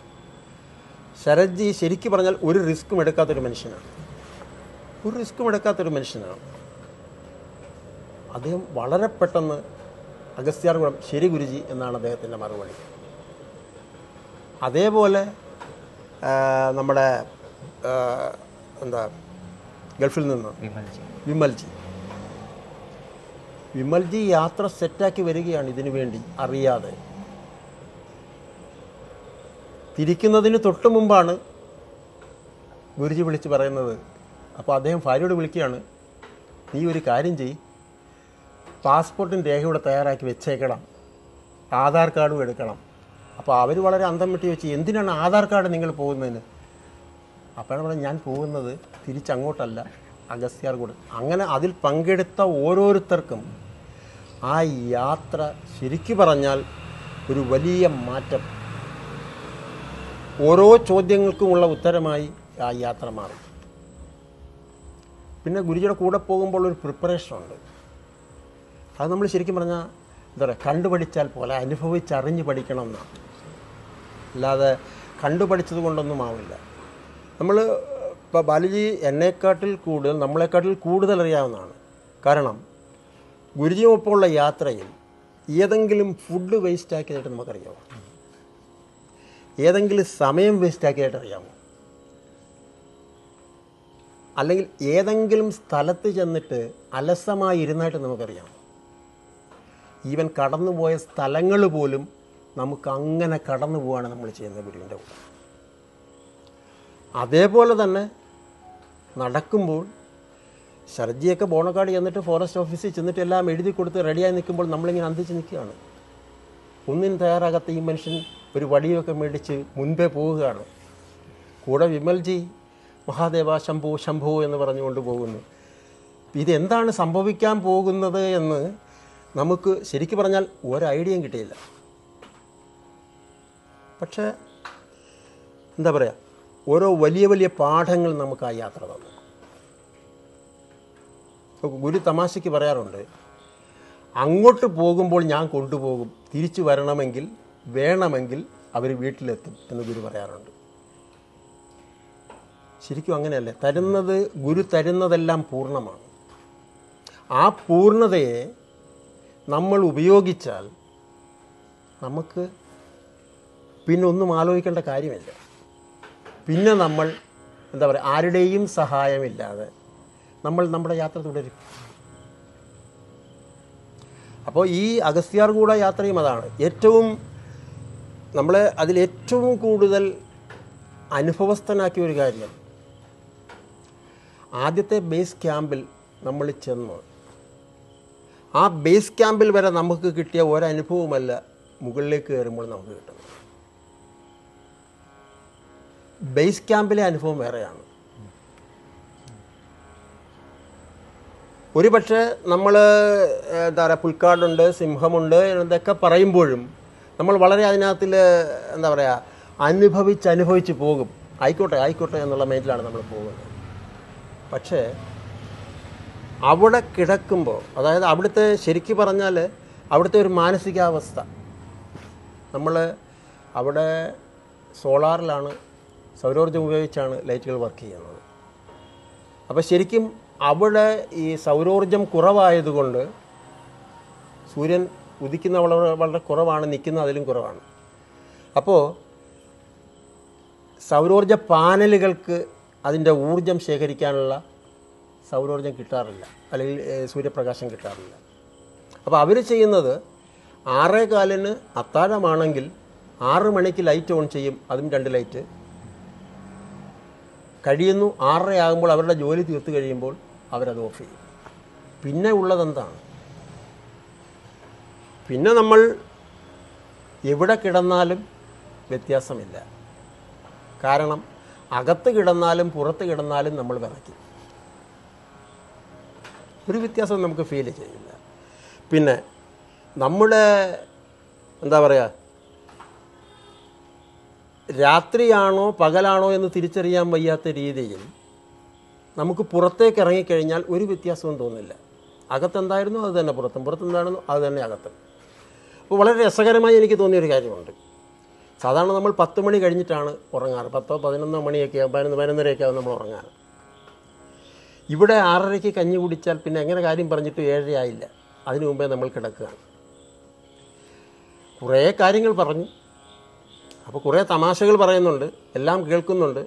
അപ്പോഴും നമ്മുടെ ഉള്ളിലൊരു പിടച്ചിലുണ്ട്. എന്തായിരിക്കും ഇനി സംഭവിക്കാൻ പോകുന്നത്? കാറ്റ് ഈ മെറ്റൽ ഷീറ്റുകളെ എല്ലാം പറത്തി അതിന്റെ ശബ്ദം നമ്മളിങ്ങനെ വരികയാണ്. അപ്പോൾ നേരത്തെ പറഞ്ഞ പോലെ വ്യത്യാസമില്ല. വരുന്ന ആനയ്ക്ക് കയറാൻ വേണ്ടി ഒരു വാതിൽ ഒരുക്കിയിട്ട് കൊടുത്തിട്ടുണ്ട് പാൽ ഒരുക്കിയിട്ട് കൊടുത്തിട്ടുണ്ട്. അപ്പോൾ ക്രൂരജന്തുക്കൾക്ക് സുഖമായി കയറി വരാം എന്നുള്ള രീതിയിലാണ്. കേൾക്കുന്നതെല്ലാം ഈ വന്യമൃഗങ്ങളുടെ അറ്റാക്കും ശരിക്കും നമുക്ക് ഉത്ഭയമുണ്ടായിരുന്നു പക്ഷേ ആദ്യമായി ഗുരു നമ്മുടെ കൂടെ കിടക്കുകയാണ്. ഇനി എന്ത് വരുന്നത് വരട്ടെ എന്നുള്ള രീതിയിലാണ് നമ്മൾ കിടക്കുന്നത്. അപ്പോൾ ഒരു പത്തോ പതിനൊന്നരയൊക്കെ ആയപ്പോൾ നമ്മൾ ഉണർന്നു. അപ്പോൾ ചെറിയൊരു മൂത്രശങ്ക തോന്നി. എഴുന്നേക്കണ്ടേ? നമ്മൾ നോക്കുമ്പോൾ എല്ലാവരും ഉറക്കമാണ്. കുറേ കൂർക്കം വലികൾ മത്സരിച്ച് കേൾക്കാം. വേറെ കുറേ പേർക്ക് അനക്കമില്ല. എങ്ങനെ നമ്മൾ പുറത്തു പോകും അങ്ങനെ ആലോചിച്ച് ആലോചിച്ച് നമ്മൾ കുറേ ഒരു ഒരു മണിക്കൂറെങ്കിലും നമ്മളുടെ സമയം പോയിട്ടുണ്ടാവും. അപ്പോൾ നമ്മൾ വിചാരിച്ചു ഗുരുവിനെ മനസ്സിൽ സ്മരിച്ചു. കാരണം ഗുരു ഇപ്പുറത്താണ് കിടക്കുന്നതെന്ന് ഓർമ്മയാണ് നമ്മുടെ അത് അല്ലാതെ ഗുരുവിനെ കാണാൻ പറ്റുന്നില്ല. ഇപ്പോഴത്തെ ശരജിയെ തിരിച്ചറിയാൻ പറ്റുന്നില്ല. അപ്പം നമ്മൾ വിചാരിച്ചു എന്തായാലും ഒരു കാര്യം ചെയ്യാം. ആരും കേൾക്കാത്ത രീതിയിൽ നമ്മളൊന്ന് വിളിക്കാം. നമ്മൾ ശരജി എന്ന് വിളിക്കുകയാണ്. ഇവിടെ ഹരിച്ചേട്ടാ ഞാനിവിടെ ഉണ്ട്. അപ്പോൾ നമ്മൾ വളരെ അത്ഭുതപ്പെട്ടു. കാരണം എടാ ഈ പന്ത്രണ്ടരയ്ക്ക് ശരജി ഉണർന്നിരിക്കുകയാണോ? നമ്മൾ വിചാരിച്ച എല്ലാവരും ഉറങ്ങുന്നതല്ലേ? ഹരിച്ചേട്ടാ എന്താണ്? ഞാൻ പറഞ്ഞു എനിക്കിതുപോലെ ഒന്ന് പുറത്തേക്ക് പോ ഞാൻ എത്രയോ നേരമായി വിചാരിക്കുന്നു. അങ്ങനെ അപ്പോഴാണ് പലരും എഴുന്നേറ്റ് വരികയാണ്. അങ്ങനെ നമ്മൾ പുറത്ത് പോയപ്പോൾ പറഞ്ഞൊരു കാര്യമുണ്ട്. ഇപ്പോഴും നമ്മൾ ഓർക്കും ശരജി പറഞ്ഞു. ഹരിച്ചേട്ടാ അങ്ങോട്ട് പോകണമെന്നില്ല. ഇവിടെ ആയാലും അവിടെ ആയാലും വലിയ വ്യത്യാസമില്ലെന്നേ നിൽക്കൂ. ഞാൻ പറഞ്ഞു വന്നത് ഇവിടെ ഈ ക്യാമ്പിൽ അഗസ്ത്യാരുടെ തിരുമുമ്പിൽ ഒന്നുമില്ല ഒരു സാങ്കേതികത്വവും ഇല്ല. എല്ലാവരും തുല്യരാണ്. ആർക്കും എന്തും എവിടെയും ചെയ്യാം. ആ ഒരു അന്തരീക്ഷമാണ്. അപ്പോൾ അങ്ങനെ ഒരു അന്തരീക്ഷം നമുക്ക് കിട്ടിക്കഴിയുമ്പോൾ ആദ്യം നമുക്ക് ഭയം വരും. പിന്നെ ഗുരു കൂടെ ഉണ്ട് എന്ന് തോന്നൽ വരുമ്പോൾ നമുക്കത് ആസ്വദിക്കാൻ തോന്നും. ഒരു വേള ഞാൻ ചിന്തിച്ചു ഇനി വീട്ടിൽ ചെന്ന് എന്റെ സഹധർമ്മിണിയൊക്കെ കാണാൻ പറ്റുമോ? എന്തായി തീരുമോ എന്തോ? എന്തായാലും ഗുരു ഇപ്പുറത്ത് കിടപ്പുണ്ട് ശകലം കൂടെ ചേർന്ന് കിടക്കാം എന്നുള്ള സങ്കല്പത്തിൽ അങ്ങനെയാണ് അവിടം വരെയുള്ള ഫീലിംഗ് എല്ലാം നമുക്ക്. പക്ഷേ അതിന് ശേഷം അപ്പോൾ ഗുരു നമ്മളെ വിളിക്കുന്നു. വിളിച്ചു കൊണ്ടുപോയി അഗസ്ത്യാർ കൂടം കാണിക്കുന്നു. കണ്ടാലറിയാം അഗസ്ത്യാരുടെ ആ അതേ രീതിയിലാണ് ഇതുണ്ടെന്ന് ഗുരു പറയുകയാണ് നമുക്കൊന്നും മനസ്സിലാവുന്നില്ല. കാരണം മഞ്ഞുമൊക്കെയാണല്ലോ. അപ്പോൾ ഗുരു പിന്നെ പറയുന്നുണ്ട് മഞ്ഞാണ് ഒന്നും കാണാൻ പറ്റുന്നില്ല. നല്ലതായിരുന്നെങ്കിൽ നല്ല കാലാവസ്ഥയായിരുന്നു നമുക്ക് കാണാമായിരുന്നു എന്നൊക്കെ ഇങ്ങനെ നമ്മൾ പറഞ്ഞ് ബോധ്യപ്പെടുത്തുന്നുണ്ട്. അപ്പോൾ നമ്മൾ ഗുരു എവിടെ പോകണം അവിടെ പോകുന്നു തിരിച്ചു വരാൻ പറഞ്ഞാൽ തിരിച്ചു വരുന്നു. അങ്ങനെ നമ്മൾ അവിടെ കഴിഞ്ഞ് പിറ്റേന്ന് രാവിലെ നാലര അഞ്ച് മണി അനുസരിച്ച് പോകണം എന്നാണ് ഗുരുനിർദ്ദേശം. അപ്പോൾ നമ്മൾ കൂടുതൽ അവിടെ ചെന്ന് ചോദിച്ചപ്പോൾ അവർ പറഞ്ഞു അഞ്ച് മണി എന്നൊക്കെ പറയുന്നത് മണ്ടത്തരമാണ്. ഒരു ആറ് ആറരയായിട്ട് നമുക്ക് പോകാം. അതാണ് നല്ലതെന്ന് പറഞ്ഞു. അപ്പോൾ നമ്മൾ ആറ് മണിയായി ഒരു നേരത്തെ തന്നെ എഴുന്നേറ്റ് റെഡിയാണ്. നമ്മൾ ശരജിയൊക്കെ വിളിച്ച് നമുക്ക് ശരജി ഒരു തുണ അല്ലെങ്കിൽ ബാലജി ഒരു തുണ ഇങ്ങനെ ഓരോരുത്തരെയും നമ്മൾ കൂട്ടിക്കൊണ്ട് പോവാണ്. കാരണം നമുക്ക് പേടി ഉണ്ടായിട്ടാണ്. പക്ഷെ അവർ മനസ്സിലാക്കരുതല്ലോ. അപ്പോൾ അങ്ങനെ നമ്മൾ കൊണ്ടുപോയി എല്ലാ കാര്യങ്ങളും കഴിച്ച് ആറ് മണിയായപ്പോൾ അവിടെ ചെന്നപ്പോൾ നമ്മുടെ ഗൈഡ് പയ്യൻ പറഞ്ഞു കുഴപ്പമില്ല. കുറച്ചുകൂടെ കഴിഞ്ഞ് വാങ്ങും കാരണം ആന മുകളിലുണ്ട്. പിന്നെന്താണ് പറയുക അങ്ങനെ വീണ്ടും അരമണിക്കൂറോ മുക്കാൽ മണിക്കൂറോ താമസിച്ചിട്ടാണ് നമ്മൾ അപ്പോഴും ശരിക്കു പറഞ്ഞാൽ നമുക്കൊരു ലാഘവത്വം ഉണ്ടായിരുന്നു അവിടം വരെ. ഇതൊക്കെ കാണുമ്പോൾ ഓരോന്ന് ഗുരു ഇതാണ് ഇതാണ് എന്ന് പറഞ്ഞ് കാണിച്ചു തരുമ്പോഴും ആ ഇതാണോ? കൊള്ളാം. എന്ന രീതിയിലാണ് നമ്മൾ ആ ബേസ് ക്യാമ്പ് വരെ പോകുന്നത്. അപ്പോൾ അവിടെ ഈ ഗോത്രവർഗക്കാരുടെ അല്ലെ ആദിവാസികളുടെ ആചാരങ്ങളുള്ള തറയുണ്ട്.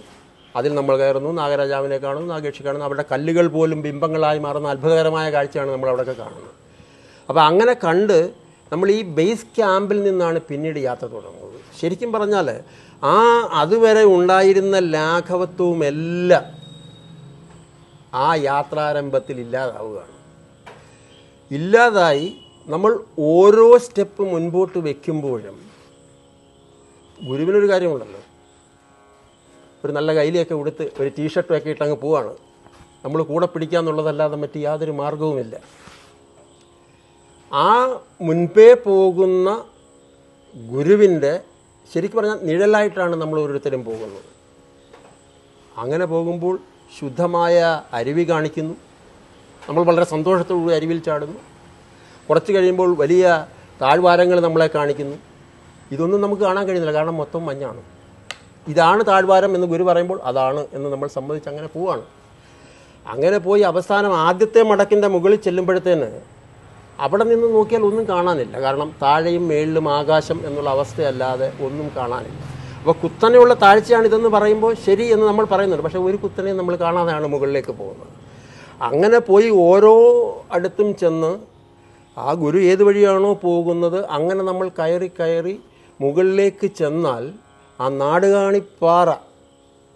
അവിടം വരെ നമ്മൾ കാണുന്ന ഒരു കാഴ്ച പിന്നെ നമ്മൾ ഒരിക്കലും കാണില്ല. അവിടം വരെ നമ്മൾ ശരിക്കും നാടുകാണിപ്പാറയുടെ താഴെ ചെന്നിട്ട് ഗുരു അങ്ങനെ കാണിക്കുകയാണ് കണ്ടോ അരുവി ഒഴി വരുന്നത്? അപ്പോഴത്തേന് ബാലുജി എടുത്ത് ചാടുന്നു. നമ്മുടെ എന്താ പറയുക ശരജിയൊക്കെ ആണെങ്കിൽ എന്ത് ചെയ്യുന്നു വേണമെന്ന് ശരജിക്ക് അറിയില്ല. നമ്മൾ തുള്ളിച്ചാടുന്നു. ആകെ എന്താ പറയുക ഒരു ലയനം. അവിടെ സംഭവിക്കുന്നു. അങ്ങനെ നമ്മൾ കൂടുതൽ ശരിക്കും പറഞ്ഞാൽ മതോന്മത്തരായിട്ടാണ് അഗസ്ത്യാരെ കാണാൻ പിന്നെ നമ്മൾ പോകുന്നത്. അപ്പോൾ മുകളിൽ ചെന്നു. അവിടെ ചെല്ലുമ്പോൾ നമ്മളെ പണ്ട് അഗസ്ത്യാർ മരുന്നുണ്ടാക്കാൻ വേണ്ടി ഇടിച്ച ചെറിയ എന്താ പറയുക കല്ലുണ്ട്. നമ്മുടെ മുത്തശ്ശന്മാരൊക്കെ മുറുക്കാൻ ഇടിച്ച കല്ല്. ഇത് നമ്മളെ കാണിക്കും നമുക്ക് അതിശയം പോലെ നമ്മൾ കണ്ടു നിൽക്കുകയാണ്. കാരണം ഇത്രയും ഹൈറ്റിൽ പോയിരുന്ന് മരുന്നുണ്ടാക്കിയ ഒരാളെ നമ്മൾ സങ്കല്പിക്കുമ്പോൾ നമ്മുടെ അഗസ്ത്യാർ എന്താണോ നമ്മുടെ മനസ്സിലുണ്ടായിരുന്നത് അതെല്ലാം പൊളിയാണ് അതെല്ലാം നമ്മൾ പൊളിഞ്ഞു വീഴാണ്.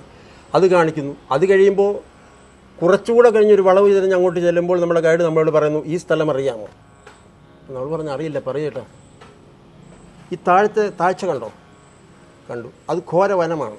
ഞാൻ പറഞ്ഞു ഇതുവരെ കണ്ടുവന്നു ഏതൊക്കെ അതാണെന്നാണ് നമ്മുടെ വിശ്വാസം.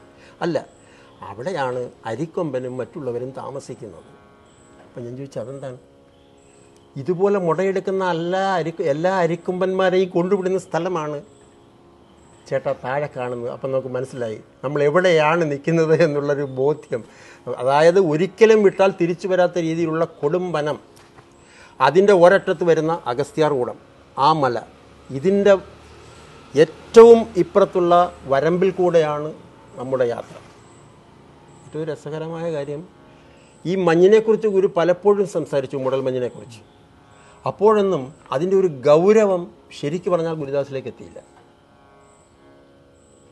അങ്ങനെ നമ്മൾ നാടുകാണിപ്പാറ കഴിഞ്ഞ് മുകളിലേക്ക് പോകുമ്പോൾ ഇതുവരെ കണ്ടതൊന്നും പിന്നെ നമ്മൾ കാണുന്നില്ല.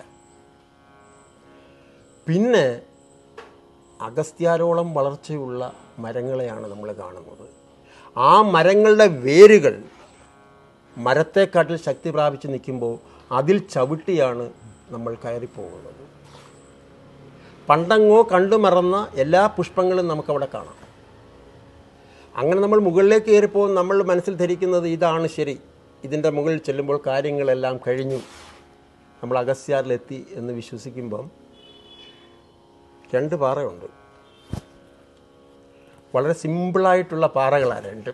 കാരണം ഒരിടത്ത് നിൽക്കുന്ന ഒരാൾക്ക് മൂലറ്റം നിൽക്കുന്ന ആളെ കാണാൻ പറ്റില്ല പിന്നെ പറഞ്ഞു വന്നാൽ തൊണ്ണൂറ് ഡിഗ്രിയാണ് അതിന്റെ സ്ലോപ്പ്. ഇത് നമ്മളങ്ങനെ അവിടെ നിന്നു. കാരണം ഇനി എന്താണ് സംഭവിക്കുന്നത്? ഗുരു വരികയാണ്. പുറകിലുണ്ട് ഗുരു. അപ്പോൾ ഇനി എന്താണ് സംഭവിക്കുന്നത്? അപ്പോൾ ഗുരു വന്നു. ആ കയറെടുത്തോളൂ ഈ കയറെടുത്തോളൂ. കയറെടുത്ത് നിൽക്കുമ്പോൾ ഗുരു മുകളിലോട്ട് കയറുന്നതാണ് നമ്മൾ കാണുന്നത്. ഈ കയറിൽ പിടിച്ച് മുകളിലേക്ക് കയറി പോകുന്ന ഗുരുവിനെ കാണുമ്പോൾ നമ്മൾ ശരിക്കും ഗുരുവേന്ന് വിളിച്ചു. കാരണം ആ കാഴ്ച നമ്മളിങ്ങനെ നോക്കി നിൽക്കാൻ മാത്രമേ പറ്റത്തുള്ളൂ. ഒരു നിമിഷം ആ കയറ് ബന്ധിച്ചിരിക്കുന്നതിൽ നിന്ന് ഈ കയറിന് എന്തെങ്കിലും ഒന്ന് സംഭവിച്ചാൽ ഇത് പൊട്ടി വീണാൽ അല്ലെങ്കിൽ ആ കയർ ഉറപ്പിച്ചിരിക്കുന്നതിന് എന്തെങ്കിലും ഒരു വ്യത്യാസം വന്നാൽ നമ്മുടെ അവസ്ഥ പരിതാപകരമായിരിക്കും. പരിതാപകരമായിരിക്കുമെന്ന് പറഞ്ഞാൽ വീട്ടിലൊന്നും കൊണ്ടുപോകാനൊന്നും കാണൂല. അതാണ് അവിടുത്തെ അവസ്ഥ. പക്ഷേ നമ്മളെ ഏറ്റവും കൂടുതൽ ആകർഷിച്ചതൊന്നുമല്ല. ഗുരു കയറിപ്പോകുന്ന വഴിയും ഗുരുവിനെയും കൂടെ പോകുന്ന സാധകരെയും മാത്രമേ നമ്മൾ കാണുന്നുള്ളൂ. നമ്മുടെ ചുറ്റിനും എന്ത് നടക്കുന്നു എന്ന് നമുക്കറിയില്ല. കാണാനും പറ്റില്ല. അപ്പം നമ്മൾ എന്നാൽ പിന്നെ നമ്മളും പോവുക ഗുരുവിന്റെ കൂടെ അല്ലേ എന്നുള്ള രീതിയിലാണ് നമ്മളത് കയറി ചെല്ലുന്നത്.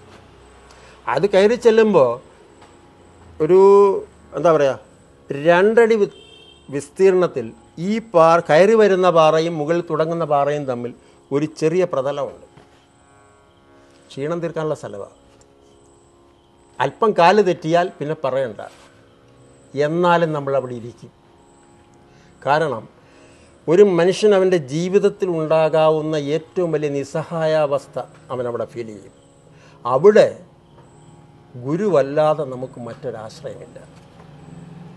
കാരണം അവിടെ ഓരോ സാധകനും സാധകനാണെന്ന് അഭിമാനിക്കുന്നവർ പോലും അവിടെ നിസ്സഹായരാവുന്ന കാഴ്ചയാണ് നമ്മൾ കാണുന്നത്. ശരിക്കും ആ പ്രകൃതം നമ്മളത് അനുഭവിച്ചറിയും. ഇത്രയും കണ്ടാണ് നമ്മൾ മുകളിലേക്ക് നോക്കുമ്പോൾ ഇപ്പം കണ്ടതിന്റെ അമ്മാവൻ എന്നുള്ള രീതിയിലാണ് അടുത്ത പാറ വരുന്നത്. ഇപ്പോൾ ഒന്നുമില്ല നാല് പേരെ ഒരുമിച്ച് നിന്നാൽ കാണാം എന്നുള്ളൊരു അവസ്ഥയുണ്ടായിരുന്നു മറ്റേത് അതുമില്ല. മുകളിൽ പോകുന്ന മുന്നോട്ട് പോകുന്ന ചരട് പിടിക്കുന്ന ഒരാളെ മാത്രമേ നമ്മൾ കാണൂ വേറെ ഒരാളെയും അതായത് നമ്മളിൽ നിന്ന് പത്തടി മുമ്പിൽ നിൽക്കുന്ന ആളെ നമുക്ക് കാണാൻ പ്രയാസമാണ്. അപ്പം അങ്ങനെ കയറി പോകുമ്പോൾ പിന്നെ നമ്മൾ ഇത് വളരെ നിസ്സാരമായി തള്ളി. ഇപ്പോൾ ഗുരു നേരത്തെ പറയുന്നുണ്ട് അവിടെ ഭയങ്കര കാറ്റായിരിക്കും. വളരെ സൂക്ഷിക്കുക അപ്പം നമ്മൾ വിചാരിച്ചു ഓഹോ കാറ്റും. നമ്മളത്ര കാറ്റ് കണ്ടിരിക്കുന്നു എന്ന് വിചാരിച്ചിട്ടാണ് നമ്മൾ മുകളിലേക്ക്. ഇത് കണ്ടപ്പോൾ നമുക്ക് മനസ്സിലായി കാറ്റും കാറ്റ് പോലെ തന്നെ ആയിരിക്കുമെന്ന് നമുക്ക് ഉറപ്പായി. ശരിക്കും ഗുരുസഹായമില്ലെങ്കിൽ നേരത്തെ അപ്പോൾ ചോദിച്ചില്ലേ ഒരു ഗുരുവിന്റെ ആവശ്യകത എന്താണ്? ആത്മീയതയിൽ പോകാൻ എന്തിനാണ് ഗുരു? എന്നൊക്കെ ചോദിച്ചില്ലേ. ആത്മീയതയിൽ മാത്രമല്ല. ഒരു മനുഷ്യന് മുൻപോട്ട് പോകണമെങ്കിൽ അവന് ഗുരുവിനെ വേണം. ഇല്ലാതെ അവൻ മുൻപോട്ട് പോകുന്നില്ല എന്നുള്ളതാണ് സത്യം. അവന് ദൈനംദിന ജീവിതത്തിലായാലും അവൻ ആത്മീയത എന്ന് പറയുന്ന ജീവിതത്തിലായാലും ഇത് രണ്ടിനും ഇടയ്ക്കുള്ള ജീവിതമായാലും അവൻ അവന്റെ ഗുരുവിനെ കിട്ടിയില്ലെങ്കിൽ പിന്നെ ആ ജീവിതം പാഴാണ്. അപ്പം ഈ കാഴ്ച ഓരോരുത്തരും ആലോചിച്ച് നോക്കണം. ഒരു റിസ്ക്കും എടുക്കാത്ത ശരജി കയറുകയാണ് മുമ്പോട്ട് നമ്മൾ വിചാരിക്കുന്ന ഇത്രയും വെയിറ്റുള്ള ഒരാളാണ്. എന്തെങ്കിലും സംഭവിച്ചു പോയാൽ ഭഗവാനെ ഇതാണ് നമ്മൾ മനസ്സിൽ വിളിക്കുകയാണ് ഇടയ്ക്കിടയ്ക്ക് ഗുരുവിനെ വിളിക്കുന്നുണ്ട്. പക്ഷേ യാതൊരു ചാഞ്ചല്യമില്ലാതെയാണ് കയറിപ്പോകുന്നത്. അപ്പം നമ്മളും അതിന് പുറകെ പോകുമ്പോൾ നമുക്കെന്താ പറയുക ശരിക്കുമുള്ള പ്രണയം അത് നമ്മൾ ഉടലെടുക്കും. ബാലുജി ആയാലും ശരത്ജി ആയാലും അല്ലെങ്കിൽ വിമൽജി ആയാലും ആരായാലും ഒരു വ്യത്യാസവും നമുക്ക് ഫീൽ ചെയ്യത്തില്ല. നമ്മുടെ ഉള്ളിൽ പിന്നെ ഈ പ്രണയം മാത്രമേ കാണൂ. നമ്മളുടെ ഉള്ളിൽ എന്തായിരുന്നോ ഉണ്ടായിരുന്നോ അതെല്ലാം പൊഴിയും. നേരത്തെ പറഞ്ഞ ആസ്വാദനമില്ല. ഭീതിയില്ല. അങ്ങനെ ഒരു സങ്കല്പങ്ങളും ഇല്ലാത്ത ഒരു തലത്തിലേക്ക് നമ്മളെ കൊണ്ടെത്തിക്കും ആ യാത്ര. ഇനി മുകളിൽ ചെന്നാലോ? നമ്മളിടയ്ക്ക് കയറി പോകുമ്പോൾ നമ്മുടെ ഗൈഡ് നമ്മൾ പറഞ്ഞു പേര് ഞാൻ ഓർക്കുന്നില്ല അവന്റെ പയ്യനാണ്. സാറേ വെള്ളം വേണം. അപ്പം നമ്മൾ പെട്ടെന്ന് ചിന്തിച്ചു നമ്മൾ എവിടെയാണ്? അപ്പം ഞാൻ ചോദിച്ചു ഈ പാറയുടെ മണ്ടയ്ക്ക് നീ എവിടുന്ന് വെള്ളം കൊണ്ടിരുന്നു അതിനൊക്കെ വഴിയുണ്ട് വാ ശരിക്കും പറഞ്ഞാൽ അഗസ്ത്യാർ മലയിൽ ആരായിരുന്നു അഗസ്ത്യാർ മഹർഷി എന്ന് നമ്മളെ കൊണ്ട് പറയിപ്പിക്കും ഇങ്ങോട്ട്. അതാണ് അവിടുത്തെ ഓരോ കാഴ്ചയും. ഉയരമില്ലാത്തതാണ് എന്റെ ഉയരം എന്ന് പറഞ്ഞ ഒരു കുഞ്ഞുണ്ണി മാഷാണ് ശരിക്കും പറഞ്ഞാൽ അഗസ്ത്യാർ.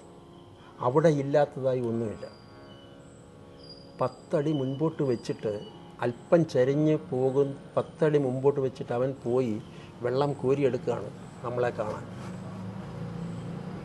ഹൈറ്റ് ആയിരത്തി അഞ്ഞൂറ്റി ശതമാനമാണ് അവിടെ നിന്നാണ് ഒരു ഇതുമില്ലാതെ വെള്ളം കോരിയെടുത്തും തെളിഞ്ഞ വെള്ളം കോരിയെടുത്ത് നമുക്ക് തരികയാണ് മതിയോ സാറേ? ചെറിയ ബോട്ടിൽ കുടിച്ചു കഴിയുമ്പോൾ ചോദിക്കുന്നതാണ്. ആ ബോട്ടിൽ പോലും അവനവിടെ സുരക്ഷിതമായി വെച്ചിട്ടുണ്ട് എന്നുള്ളതാണ്. അപ്പം ഞാൻ ചോദിച്ചു ഇവിടെ ഈ വെള്ളം ഒരിക്കലും പറ്റത്തില്ല സാറേ.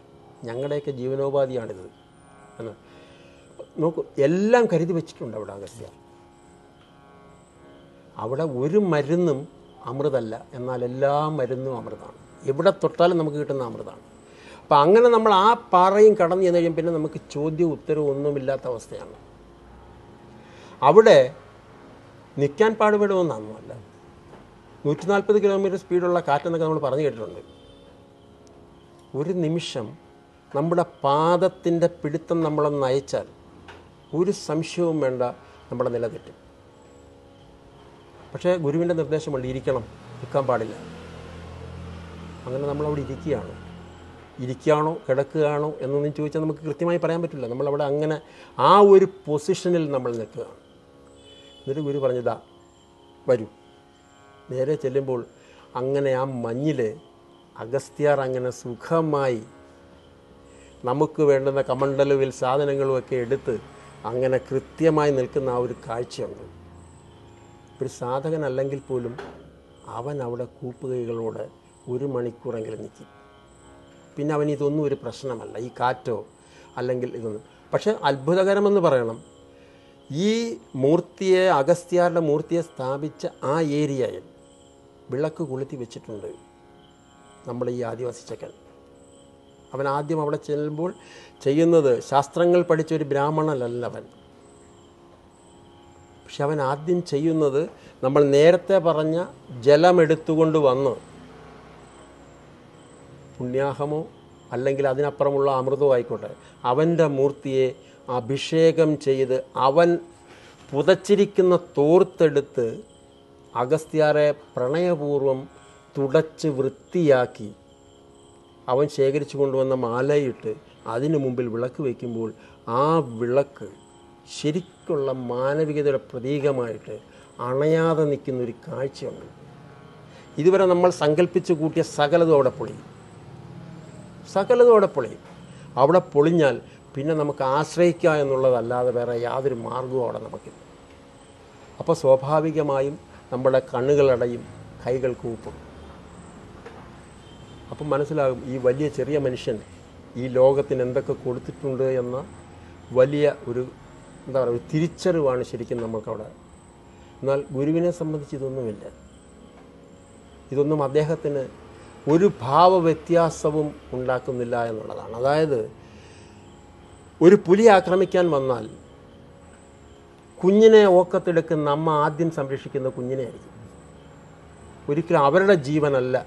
അല്ലെങ്കിൽ ആ കുഞ്ഞിനെ പറിച്ചെറിഞ്ഞിട്ട് അവർ പോകില്ല എന്ന് പറയുന്നത് പോലെ നമ്മളുടെ ഈ വികാരം അത് പ്രണയമായിക്കോട്ടെ എന്തുമായിക്കോട്ടെ ആ വികാരത്തിൽ അലഞ്ഞു നിൽക്കുന്ന ഒരു സാധകൻ അല്ലെങ്കിൽ ഈ ഓരോ സാധകരെയും ഒരമ്മയുടേതിലധികം കരുതലോടെ നമ്മളുടെ ഓരോ പാദവും വെക്കുന്ന സ്ഥലം പോലും പൂർണമായി മനസ്സിലാക്കി എന്തെങ്കിലും ഒരു വ്യത്യാസമുണ്ടെങ്കിൽ പെട്ടെന്ന് അതിനുള്ള നിർദ്ദേശങ്ങളും തന്ന് നമുക്ക് വാക്കുകളില്ല.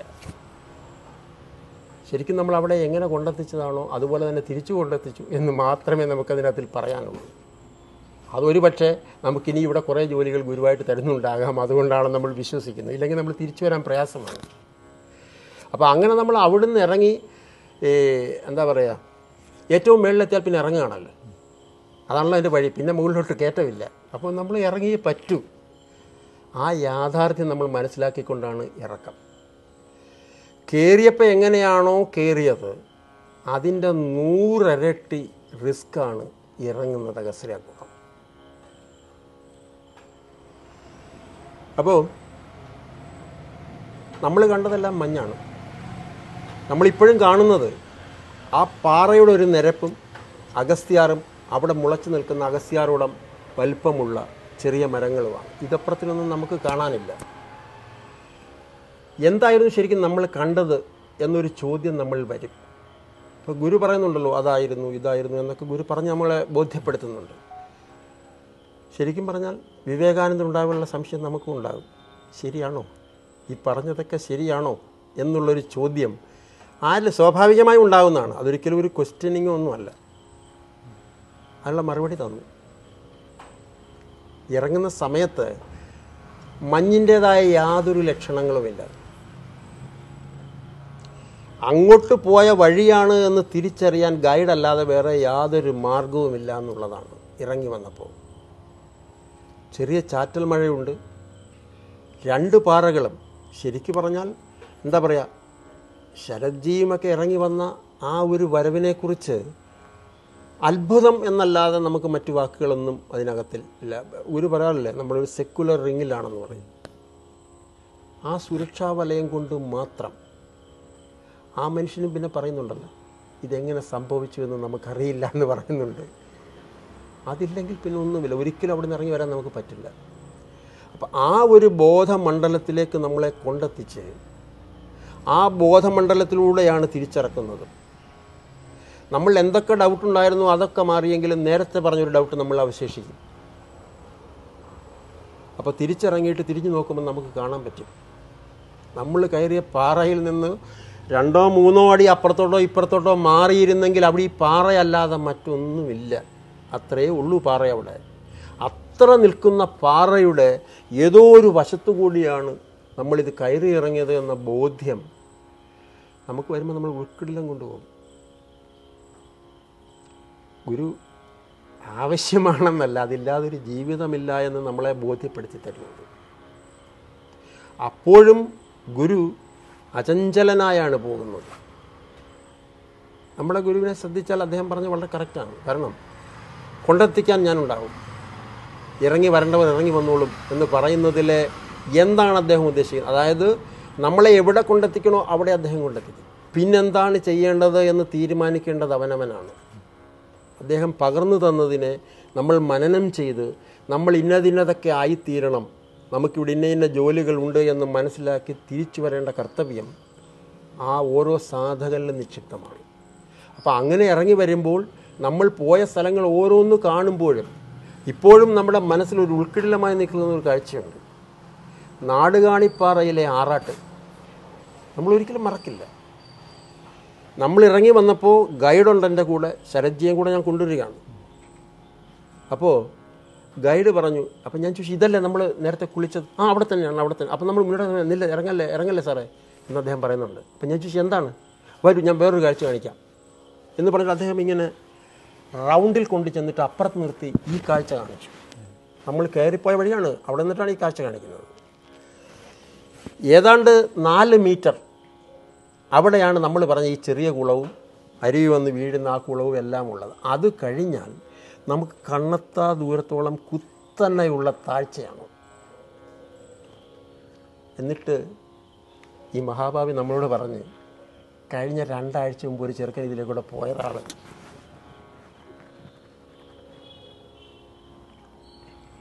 ആലോചിച്ച് നോക്കുക. നമ്മുടെ അന്നത്തെ അവസ്ഥ. നമ്മൾ അവിടെയാണ് ആറാട്ട് നടത്തിയത്. അപ്പോൾ ഈ സ്ഥലം മഞ്ഞുകൊണ്ട് മറച്ച് നമ്മളുടെ ആദിയെ ഇല്ലാതാക്കി നമ്മളുടെ ചോദ്യങ്ങൾക്കൊരു ഉത്തരമായി നമ്മളെ അവിടെ സ്നാനം ചെയ്ത് എടുപ്പിച്ചതാണ് ശരിക്കും ഗുരു ചെയ്ത വലിയ പ്രവൃത്തി. ഇല്ലെങ്കിൽ നമുക്ക് ഒരിക്കലും ആ വെള്ളത്തിൽ ഇറങ്ങാൻ തോന്നുന്നില്ല അതേപോലെ ഓരോ കാഴ്ചയും അങ്ങോട്ട് പോകുന്നത് പോലെ. അപ്പോൾ ശരജി നമ്മുടെ കൂടെ ഉണ്ട് അപ്പോൾ ശരജി നമ്മളോട് ചോദിച്ചു ഹരിച്ചേട്ടാ ഇനി എത്ര ദൂരം കാണും? പല ഗൈഡന്റെ അടുത്ത് പറഞ്ഞു കണ്ടോ? ഷെഡ് താഴെ. അപ്പോൾ നമ്മൾ വളരെ ഉത്സാഹത്തോടുകൂടി ശരജിന്റെ അടുത്ത് പറഞ്ഞു. ആ കാണുന്ന ആൾ ഷെഡ് ഷെഡ്. ശരജി അപ്പോൾ ശരജി ഇങ്ങനെ തന്നെ നോക്കി. അവിടെ നോക്ക് കണ്ടോ? നീല നിറത്തിൽ കാണുന്ന ഷെഡ്. ശരജി നോക്കിയിട്ട് ഇപ്പോഴും നമുക്ക് ആ ശബ്ദം ഓർമ്മയുണ്ട്. ഹാ!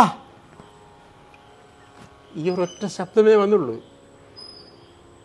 അങ്ങനെ നിൽക്കുകയാണ് അവിടെ. അപ്പോൾ ആലോചിച്ച് നോക്കണം ആ മാനസികാവസ്ഥ. നമ്മളെ ഗുരു കരതലാമലകം പോലെ എങ്ങനെയാണോ കയ്യിൽ വീണാൽ പല കഷണങ്ങളായി ചിതറി ഇല്ലാതാകുന്ന സ്ഫടികത്തെ ഒരാൾ ശ്രദ്ധയോടെ സൂക്ഷിക്കുന്നത് അതേപോലെ സൂക്ഷിച്ച് നമ്മളെ അങ്ങോട്ട് കൊണ്ടുപോയ ഗുരുവിന്റെ ആ ചാരുതയുണ്ടല്ലോ. അത് അനുഭവിച്ചറിയണമെങ്കിൽ ഇത് കാണണം നമ്മൾ. ഇല്ലെങ്കിൽ നമ്മൾ അറിയില്ല അതും നമ്മളെ കാണിച്ചു തന്നു. അതും നമ്മളെ കാണിച്ചു തന്നു. അപ്പോൾ ഓരോ യാത്രയിലും നമുക്ക് ഒരുപാട് അനുഭവങ്ങളുണ്ടാകാം അല്ലെങ്കിൽ പെയിൻ ഉണ്ടാകാം. ശാരീരികമായിട്ടുണ്ടാകാം ചില അവസരങ്ങളിൽ മാനസികമായിട്ടും ഉണ്ടാകാം. ഇല്ലെന്ന് നമ്മൾ പറയാൻ പറ്റില്ല. പക്ഷേ ഇതെല്ലാം അനുഭവിച്ചിറങ്ങി വരുമ്പം നമുക്ക് കിട്ടുന്ന ഒരു ആനന്ദമുണ്ട്.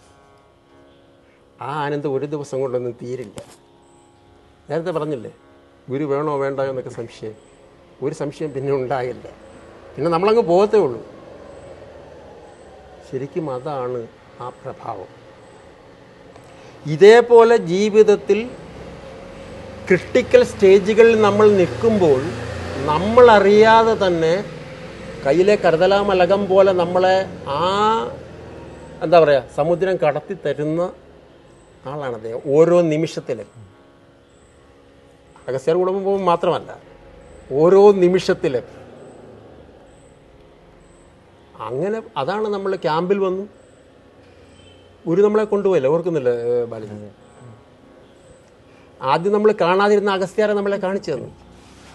നിമിഷത്തേക്ക് മാത്രം. അടുത്ത ആൾ വന്നപ്പോൾ അത് മറഞ്ഞു പോയി നമ്മൾ നാല് പേര് മാത്രമേ കണ്ടുള്ളൂ പിന്നെ നമുക്ക് അവിടെ എന്താണ് കാണാനുള്ളത് വേറെ? നമുക്കൊന്നും കാണാനില്ല. അപ്പോൾ ശരിക്കും ഗുരുവിന്റെ കൂടെയുള്ള യാത്രകൾ അങ്ങനെയാണ്.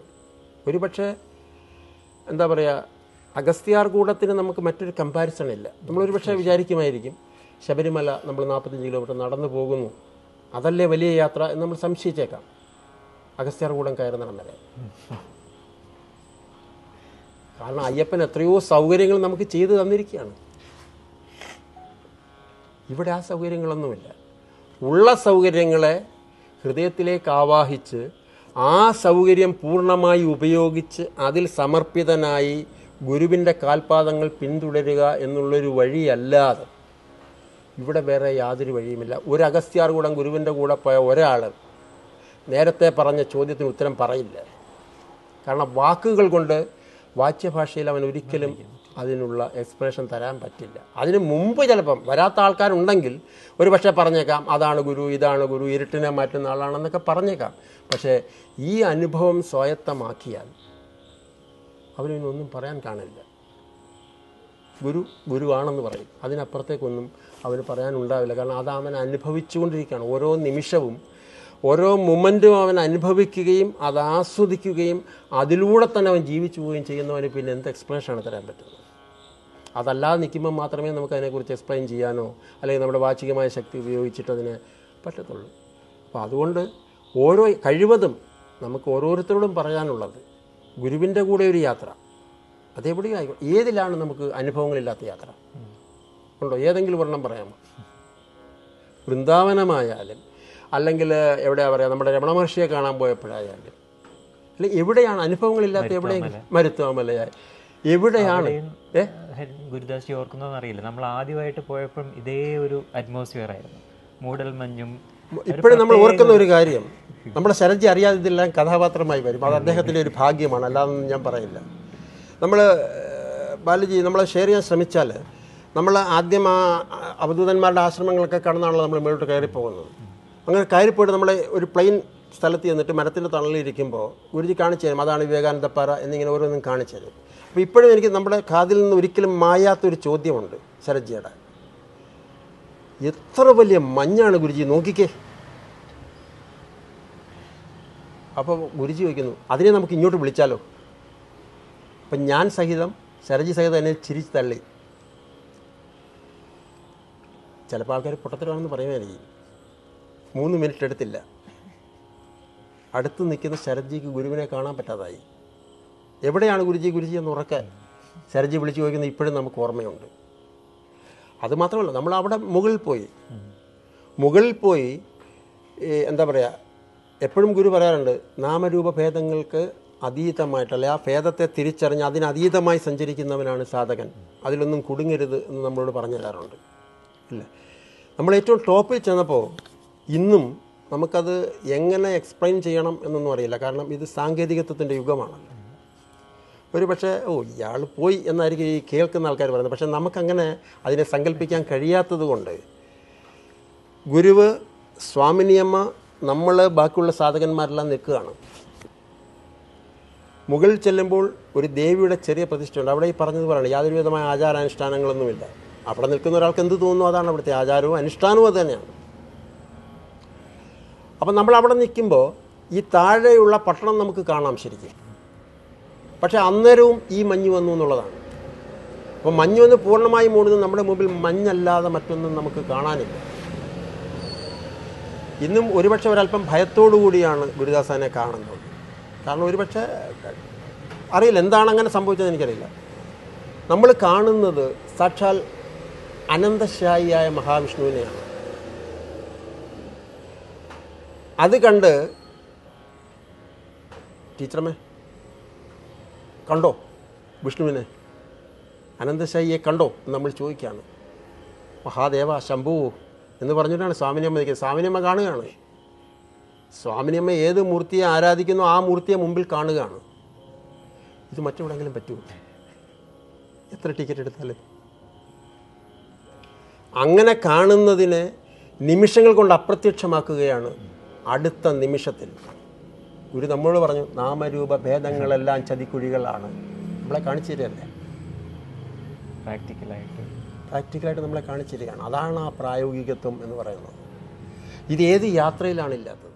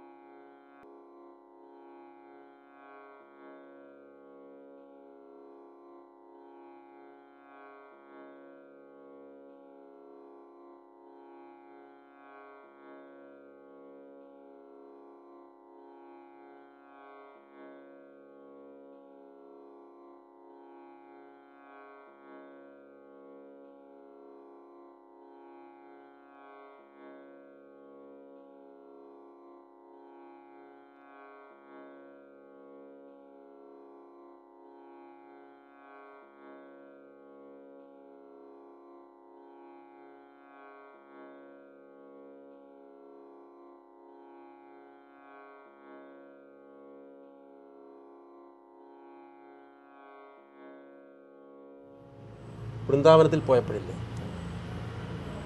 ഇവിടെയാണ് ഇല്ലാത്തത് രാധയില്ലാത്ത സ്ഥലം ഏതാണ്? ഇവിടെയെല്ലാം നമ്മൾ രാധയെ കാണും. ഇല്ലേ? ജീവാത്മാവിന് രാധയാണ് ജീവാത്മാവ് എന്ന് നമ്മൾ സങ്കല്പിച്ചാൽ നമ്മൾ രാധയായി മാറും. കാരണം മറ്റുള്ളതെല്ലാം പരമാത്മാവായി നമ്മുടെ മുമ്പിൽ വരും. അങ്ങനെ രാധാകൃഷ്ണനെ ഉള്ളൂ എന്നുള്ള ബോധ്യം നമുക്കുണ്ടാക്കി തരും. അത് ഏത് യാത്രയിലും നമുക്ക് ഫീൽ ചെയ്യും പ്രത്യേകിച്ചും ഈ അഗസ്ത്യകൂട യാത്ര എന്ന് പറയുന്നത് ഒരു സാധകന്റെ യാത്ര എന്ന് തന്നെ പറയാം.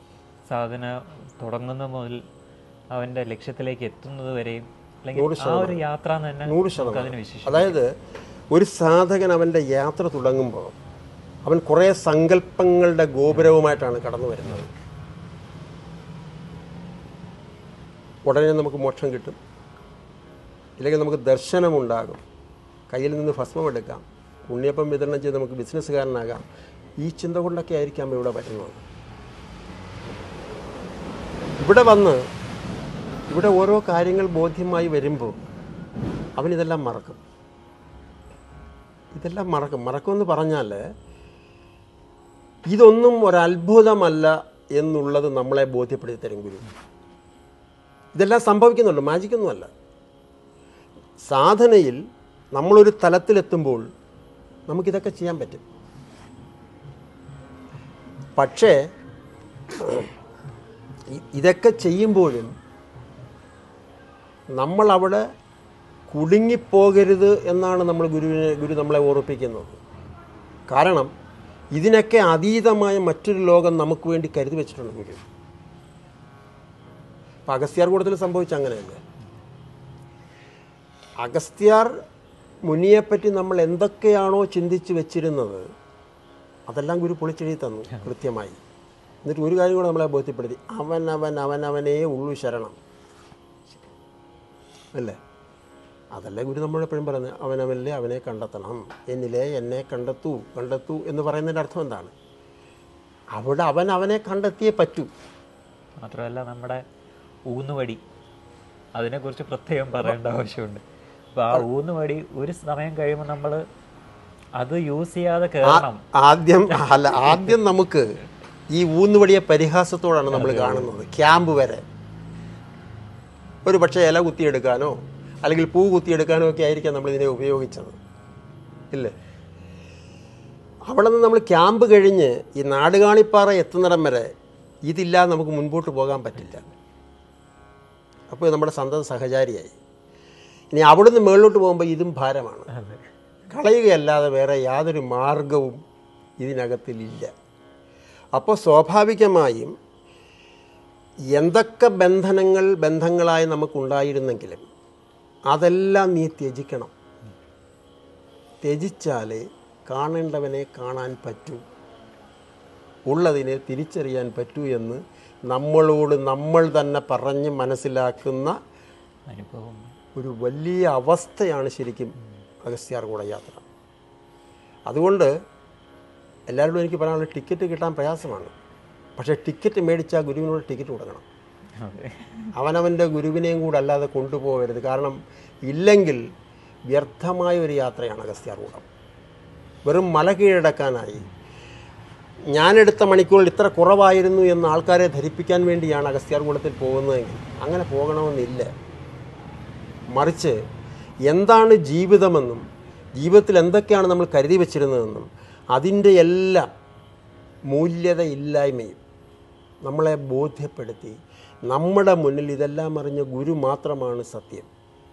ആ സത്യത്തിൽ സമർപ്പിതനായാൽ നമുക്ക് നമ്മളെ കണ്ടെത്താൻ കഴിയും എന്ന് നമ്മളെ ബോധ്യപ്പെടുത്തി തരും. ഈ അതിന് ഒരു ഉദാഹരണം കൂടെ പറയുകയാണെങ്കിൽ ഒരു ഉറപ്പ് പറയുകയാണെങ്കിൽ ഗുരുജി അവസാനം പറഞ്ഞൊരു വാക്കുണ്ട്. ഈ കയറിയ ആൾക്കാരല്ല തിരിച്ചു വന്നത്. നൂറ് ശതമാനം. കാരണം ഒരു സാധകനിൽ വരുന്ന മാറ്റമാണ്. അവന്റെ തിരിച്ചറിവുകളാണ് അതിനെ സൂചിപ്പിക്കുന്നത്. എല്ലാം. ഓരോ പോയിന്റിലും നമുക്ക് തിരിച്ചറിവുകളാണ് കിട്ടുന്നത്. അവനെ തന്നെ നടക്കാൻ പഠിപ്പിക്കുമല്ലോ. അതെ. അവനെ തന്നെ നടക്കാൻ പഠിപ്പിക്കും. ഏത് സാഹചര്യത്തിലും അവനെ തന്നെ നടക്കാൻ ഈ യാത്ര നമ്മളെ പഠിപ്പിക്കും. ഇല്ലേ? ആദ്യം വഴികാട്ടിയ ഗുരുവിനെ പോലും ഒരു പക്ഷേ നമ്മൾ സ്മരിക്കത്തില്ല. സ്മരിക്കാതെ നമ്മൾ എങ്ങനെ നിലനിൽക്കാം എന്നതിനെക്കുറിച്ച് നമ്മൾ ആലോചിക്കും. അതുതന്നെയാണ് ഗുരു നമ്മളോട് പറയുന്നത്. ആരെയും ആശ്രയിക്കരുത് അറ്റാച്ച്ഡ് ആവരുത്. നീ നിന്നെ അറിയൂ. നിന്നെ അറിഞ്ഞ് സ്വതന്ത്രമായി മുൻപോട്ട് പോകൂ എന്ന് ഗുരു പറയുന്നത് പൂർണ അർത്ഥത്തിൽ പ്രായോഗികമായി നമുക്ക് ആസ്വദിക്കാൻ പറ്റുന്ന യാത്രയാണ്. ഒരു സംശയം. അതാണ് ആ ഊന്നുപടി പോലും നമ്മൾ അവസാനം കളയേണ്ടി വരുന്നത്. അപ്പോൾ ശരിക്കും ബാലുജി നമ്മളെ സവിശേഷമായി പറഞ്ഞാൽ അഗസ്ത്യാർകൂടെ യാത്ര പഠിപ്പിക്കുന്നൊരു കാര്യമുണ്ട്. നമ്മൾ ആദ്യം ഊന്നി പറയാൻ ശ്രമിക്കുന്നത് അതുതന്നെയാണ് അതായത് കാലാവസ്ഥയിൽ വരുന്ന വ്യതിയാനം. എല്ലാത്തിനെയും കണ്ടു മുൻപോട്ട് പോകുന്നു. ബേസ് ക്യാമ്പിലെത്തുമ്പോൾ പിന്നെ ഒന്നിനെയും കാണാൻ പറ്റാത്ത അന്ധകാരം. ആ അന്ധകാരത്തിൽ നിന്ന് നമ്മൾ മുകളിലേക്ക് പോകുമ്പോൾ മഞ്ഞായി നിലയ്ക്കാത്ത കാറ്റായി.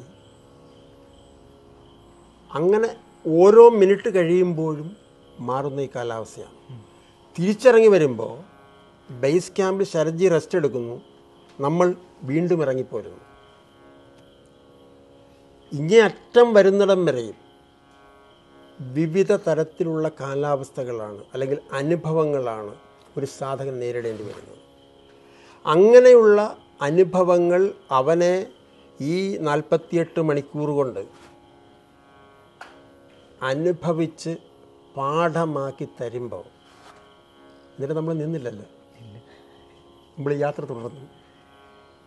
നമ്മൾ യാത്ര തുടർന്നു.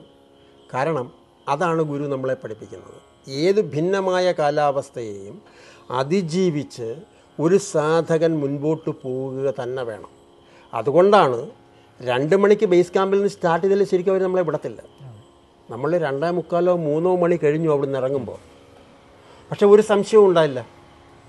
അപ്പം അന്ന് കുറേ ശാരീരികമായ പ്രശ്നങ്ങൾ ഉണ്ടായിരുന്ന ബാലുജി പോലും നമ്മളെക്കാട്ടിൽ മുമ്പേ വന്ന് ഫിനിഷ് ചെയ്യാണ് ഫോറസ്റ്റ് ഡിവിഷൻ അപ്പോൾ എന്തൊക്കെ വന്നാലും എന്തൊക്കെ വിപരീത അനുഭവങ്ങൾ ഉണ്ടായാലും ആ അനുഭവങ്ങളെയൊക്കെ പ്രായോഗികമായി നേരിട്ട് മുൻപോട്ട് പോകണം. അതാണ് ഈ യാത്ര എന്ന് നമ്മളെ പരിപൂർണമായി ബോധ്യപ്പെടുത്തി ഗുരു മുൻപേ നിന്നു എന്നുള്ളതാണ്. അങ്ങനെ വന്ന് നമ്മൾ കുഞ്ഞമ്മയുടെ വീട്ടിൽ കുഞ്ഞമ്മ എന്ന് വിളിക്കുന്നത് ശരിയല്ല സാക്ഷാൽ രാധികേശ്വരിയുടെ വീട്ടിൽ അതും മറ്റൊരു അനുഭവമാണല്ലോ വൃന്ദാവനത്തിൽ പോയി ഇവിടെ ഒരു ചെവിട്ടടി വെക്കണമെങ്കിൽ എന്തിനു പറയുന്നു നമ്മുടെ ഗുരുമാതാവ് പോലും മുകളിലേക്ക് കയറി വരാൻ എന്താ പറയുക ലോപം കാണിച്ചിരുന്നൊരു സമയമായിരുന്നു. അവിടെ കിലോമീറ്ററുകൾ താണ്ടാൻ അവർക്ക് ഒരു ലോപവും ഉണ്ടായില്ല എന്ന് മാത്രമല്ല അവർ നമ്മളെ നയിക്കുന്ന പോലെയായി അവസാനം. പോകാം എന്ന് പറഞ്ഞ് തയ്യാറാകുന്നത് അവരാണ്. അപ്പോൾ അതിലൊക്കെ കുഞ്ഞമ്മയിലൊക്കെ നമ്മൾ കാണുന്ന ഒരു സമർപ്പണമുണ്ട്. ആ സമർപ്പണം ശരിക്കും ഗുരു എന്താ പറയുക വിളക്കി തേച്ച് എന്നും നിലനിർത്തുകയാണ്. അതാണ് ശരിക്കും അപ്പോൾ വിപരീതമായ ഏത് സാഹചര്യത്തിലും അതിനെ പ്രായോഗികമായി കടന്നുപോയി അത് ആസ്വദിച്ച് നമ്മുടെ യാത്ര തുടരണം എന്ന വലിയ ഒരു സന്ദേശം. ഈ യാത്രയിലൂടെ ഈ അഗസ്ത്യാർകൂടം യാത്രയിലൂടെ നമുക്ക് തന്നു. അതുകൊണ്ടാണ് നമ്മൾ പറഞ്ഞത് ഇനി ആരെങ്കിലും അഗസ്ത്യാർകൂടത്തിൽ പോകുന്നെങ്കിൽ തീർച്ചയായും അവരവരുടെ ഗുരുവിന് വേണ്ടിയുടെ ഒരു ടിക്കറ്റ് ബുക്ക് ചെയ്യണം. കാരണം ഇല്ലെങ്കിൽ ഇതെല്ലാം പാഴായി പോകത്തേ ഉള്ളൂ എന്ന് നമ്മൾ പറഞ്ഞതിന്റെ അന്തസത്ത. അതാണ് അതായത് ജീവിതത്തിൽ നമ്മൾ എന്താണോ അനുഭവിക്കേണ്ടത് എന്തിനെയാണോ ഓവർകം ചെയ്യേണ്ടത് അത് ഈ യാത്രയിൽ ഓവർകം ചെയ്യും. നൂറ് ശതമാനം. പിന്നെ ഗുരു എന്ന വ്യത്യാസം നമുക്ക് ഫീൽ ചെയ്യത്തില്ല. അതും ഒരു വലിയ ഫാക്റ്റാണ് ഈ യാത്രയിൽ കാരണം അങ്ങനെ ആയി മാറുകയാണ് നമ്മളെല്ലാം. ഗുരു മുൻപിൽ പോകുന്നോ ഗുരുവിൽ പുറകിൽ പോകുന്നോ എന്ന് നമ്മൾ തിരക്കാറില്ലല്ലോ. നമ്മളും പോവുകയാണ് ഗുരുവിനോടൊപ്പം എന്നുള്ള ആ ഒത്തുചേർന്നുള്ള യാത്ര. അത് തീർച്ചയായിട്ടും ഈ എന്താ പറയുക തോരാത്ത പ്രണയമഴ പെയ്താൽ മാത്രമേ ഈ ഒരു അവസ്ഥ നമുക്ക് സംജാതമാകുകയുള്ളൂ. അതിന്റെ അനുഭവമാണ് ശരിക്കും ഈ യാത്ര. ഗുരുദാസ് ഇപ്പം പറഞ്ഞല്ലോ ഗുരുമാതാവും കുഞ്ഞമ്മയൊക്കെ ആയിട്ട് വൃന്ദാവനത്തിലേക്ക് കഴിഞ്ഞ വർഷം ഒരു യാത്ര പോയല്ലോ. ആ യാത്രയെക്കുറിച്ച് കുറച്ചുകൂടെ കൂടുതലായിട്ടൊന്ന് വിശദീകരിക്കാമോ? നമ്മൾ നേരത്തെ പറഞ്ഞു ഓരോ യാത്രയും ഓരോ നാഴികക്കല്ലാണ് സാധകന്റെ ജീവിതത്തിൽ. എന്നാൽ തിരിഞ്ഞ് നാഴികക്കല്ലിൽ നോക്കി നിൽക്കേണ്ട കാര്യം നമുക്കില്ല. ആ നാഴികക്കല്ലിൽ അനുഭവിച്ചത് എന്താണോ അതിനെ ഏറ്റെടുത്തുകൊണ്ട് മുൻപോട്ട് പോവുക എന്നുള്ളതാണ് ഇപ്പോൾ ഒരു സാധകൻ ചെയ്യേണ്ടത്. അങ്ങനെയാണ് ഗുരുവിന്റെ നിർദ്ദേശവും. അപ്പോൾ വൃന്ദാവന യാത്രയിൽ ശരിക്കു പറഞ്ഞാൽ അച്ഛൻ റിട്ടയർഡ് ആയപ്പോൾ എനിക്ക് സമയമില്ലാതായി. കാരണം എനിക്ക് ഡ്യൂട്ടിയും മറ്റുള്ള സാമൂഹിക പ്രവർത്തനങ്ങളും എല്ലാം കൂടെ എന്നാൽ ഞാൻ റിട്ടയർഡ് ആയപ്പോഴാണ് ശരിക്കും ഞങ്ങൾ രണ്ടും വിശ്രമാവസ്ഥ എന്നുള്ളതിലേക്ക് വരുന്നതും. അച്ഛനുമായി ശരിക്കും പറഞ്ഞാൽ കൂടുതൽ അടുക്കുന്നത്. പ്രത്യേകിച്ചും ഒരു ഹെഡ് മാസ്റ്റർ എന്നുള്ള രീതിയിലുള്ള ഒരകലെ എപ്പോഴും അച്ഛൻ നമ്മളുമായി സൂക്ഷിച്ചിരുന്നു എന്നുള്ളതൊരു സത്യമാണ്. എന്നാൽ ഇപ്പോഴും ഞാൻ ഓർക്കുന്ന ഒരു കാര്യമുണ്ട്.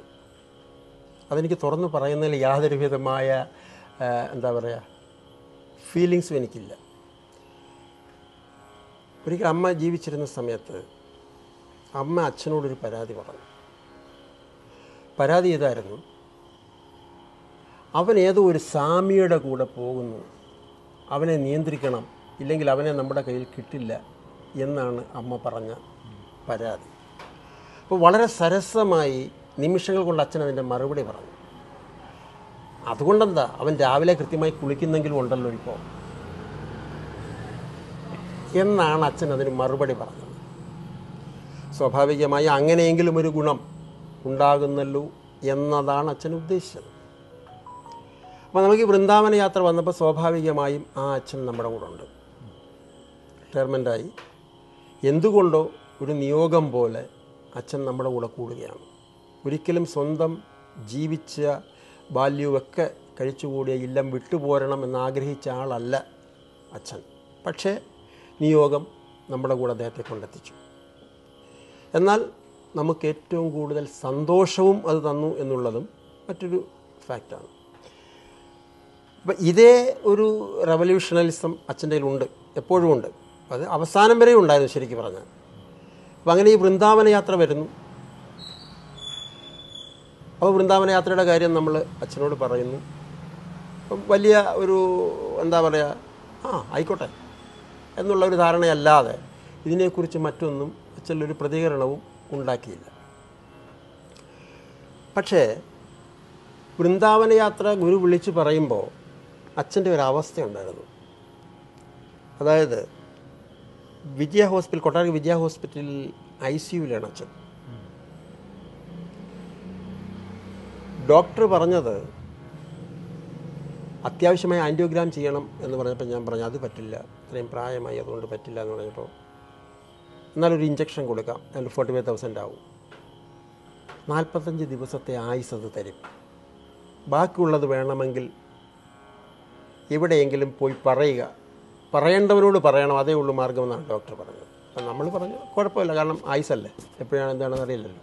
അങ്ങനെ ഒരു അവസ്ഥയിൽ ഉറ്റബന്ധുക്കളെ എല്ലാം കാണിക്കാൻ പറഞ്ഞ് ആ അവസ്ഥ തരണം ചെയ്തു എന്ന് നിലയിലെത്തിയ ഒരു ചെറിയ സന്ദർഭത്തിലാണ് അച്ഛനെ വീണ്ടും നമ്മൾ വീട്ടിലേക്ക് കൊണ്ടുവരുന്നത്. അപ്പോഴാണ് നമ്മുടെ വൃന്ദാവന യാത്രയും വരുന്നത്. എല്ലാ യാത്രയിലും നമ്മൾ തലേന്ന് ഗുരുവിനെ വിളിക്കും. എന്തുകൊണ്ടോ? പണ്ട് മുതലേ ഉള്ളൊരു ശീലമാണ് നമ്മൾ ഗുരുവിനെ വിളിക്കും. അല്ലെങ്കിൽ വിളിക്കാനുള്ള കാരണം ഉണ്ടാകും. അതായിരിക്കാം.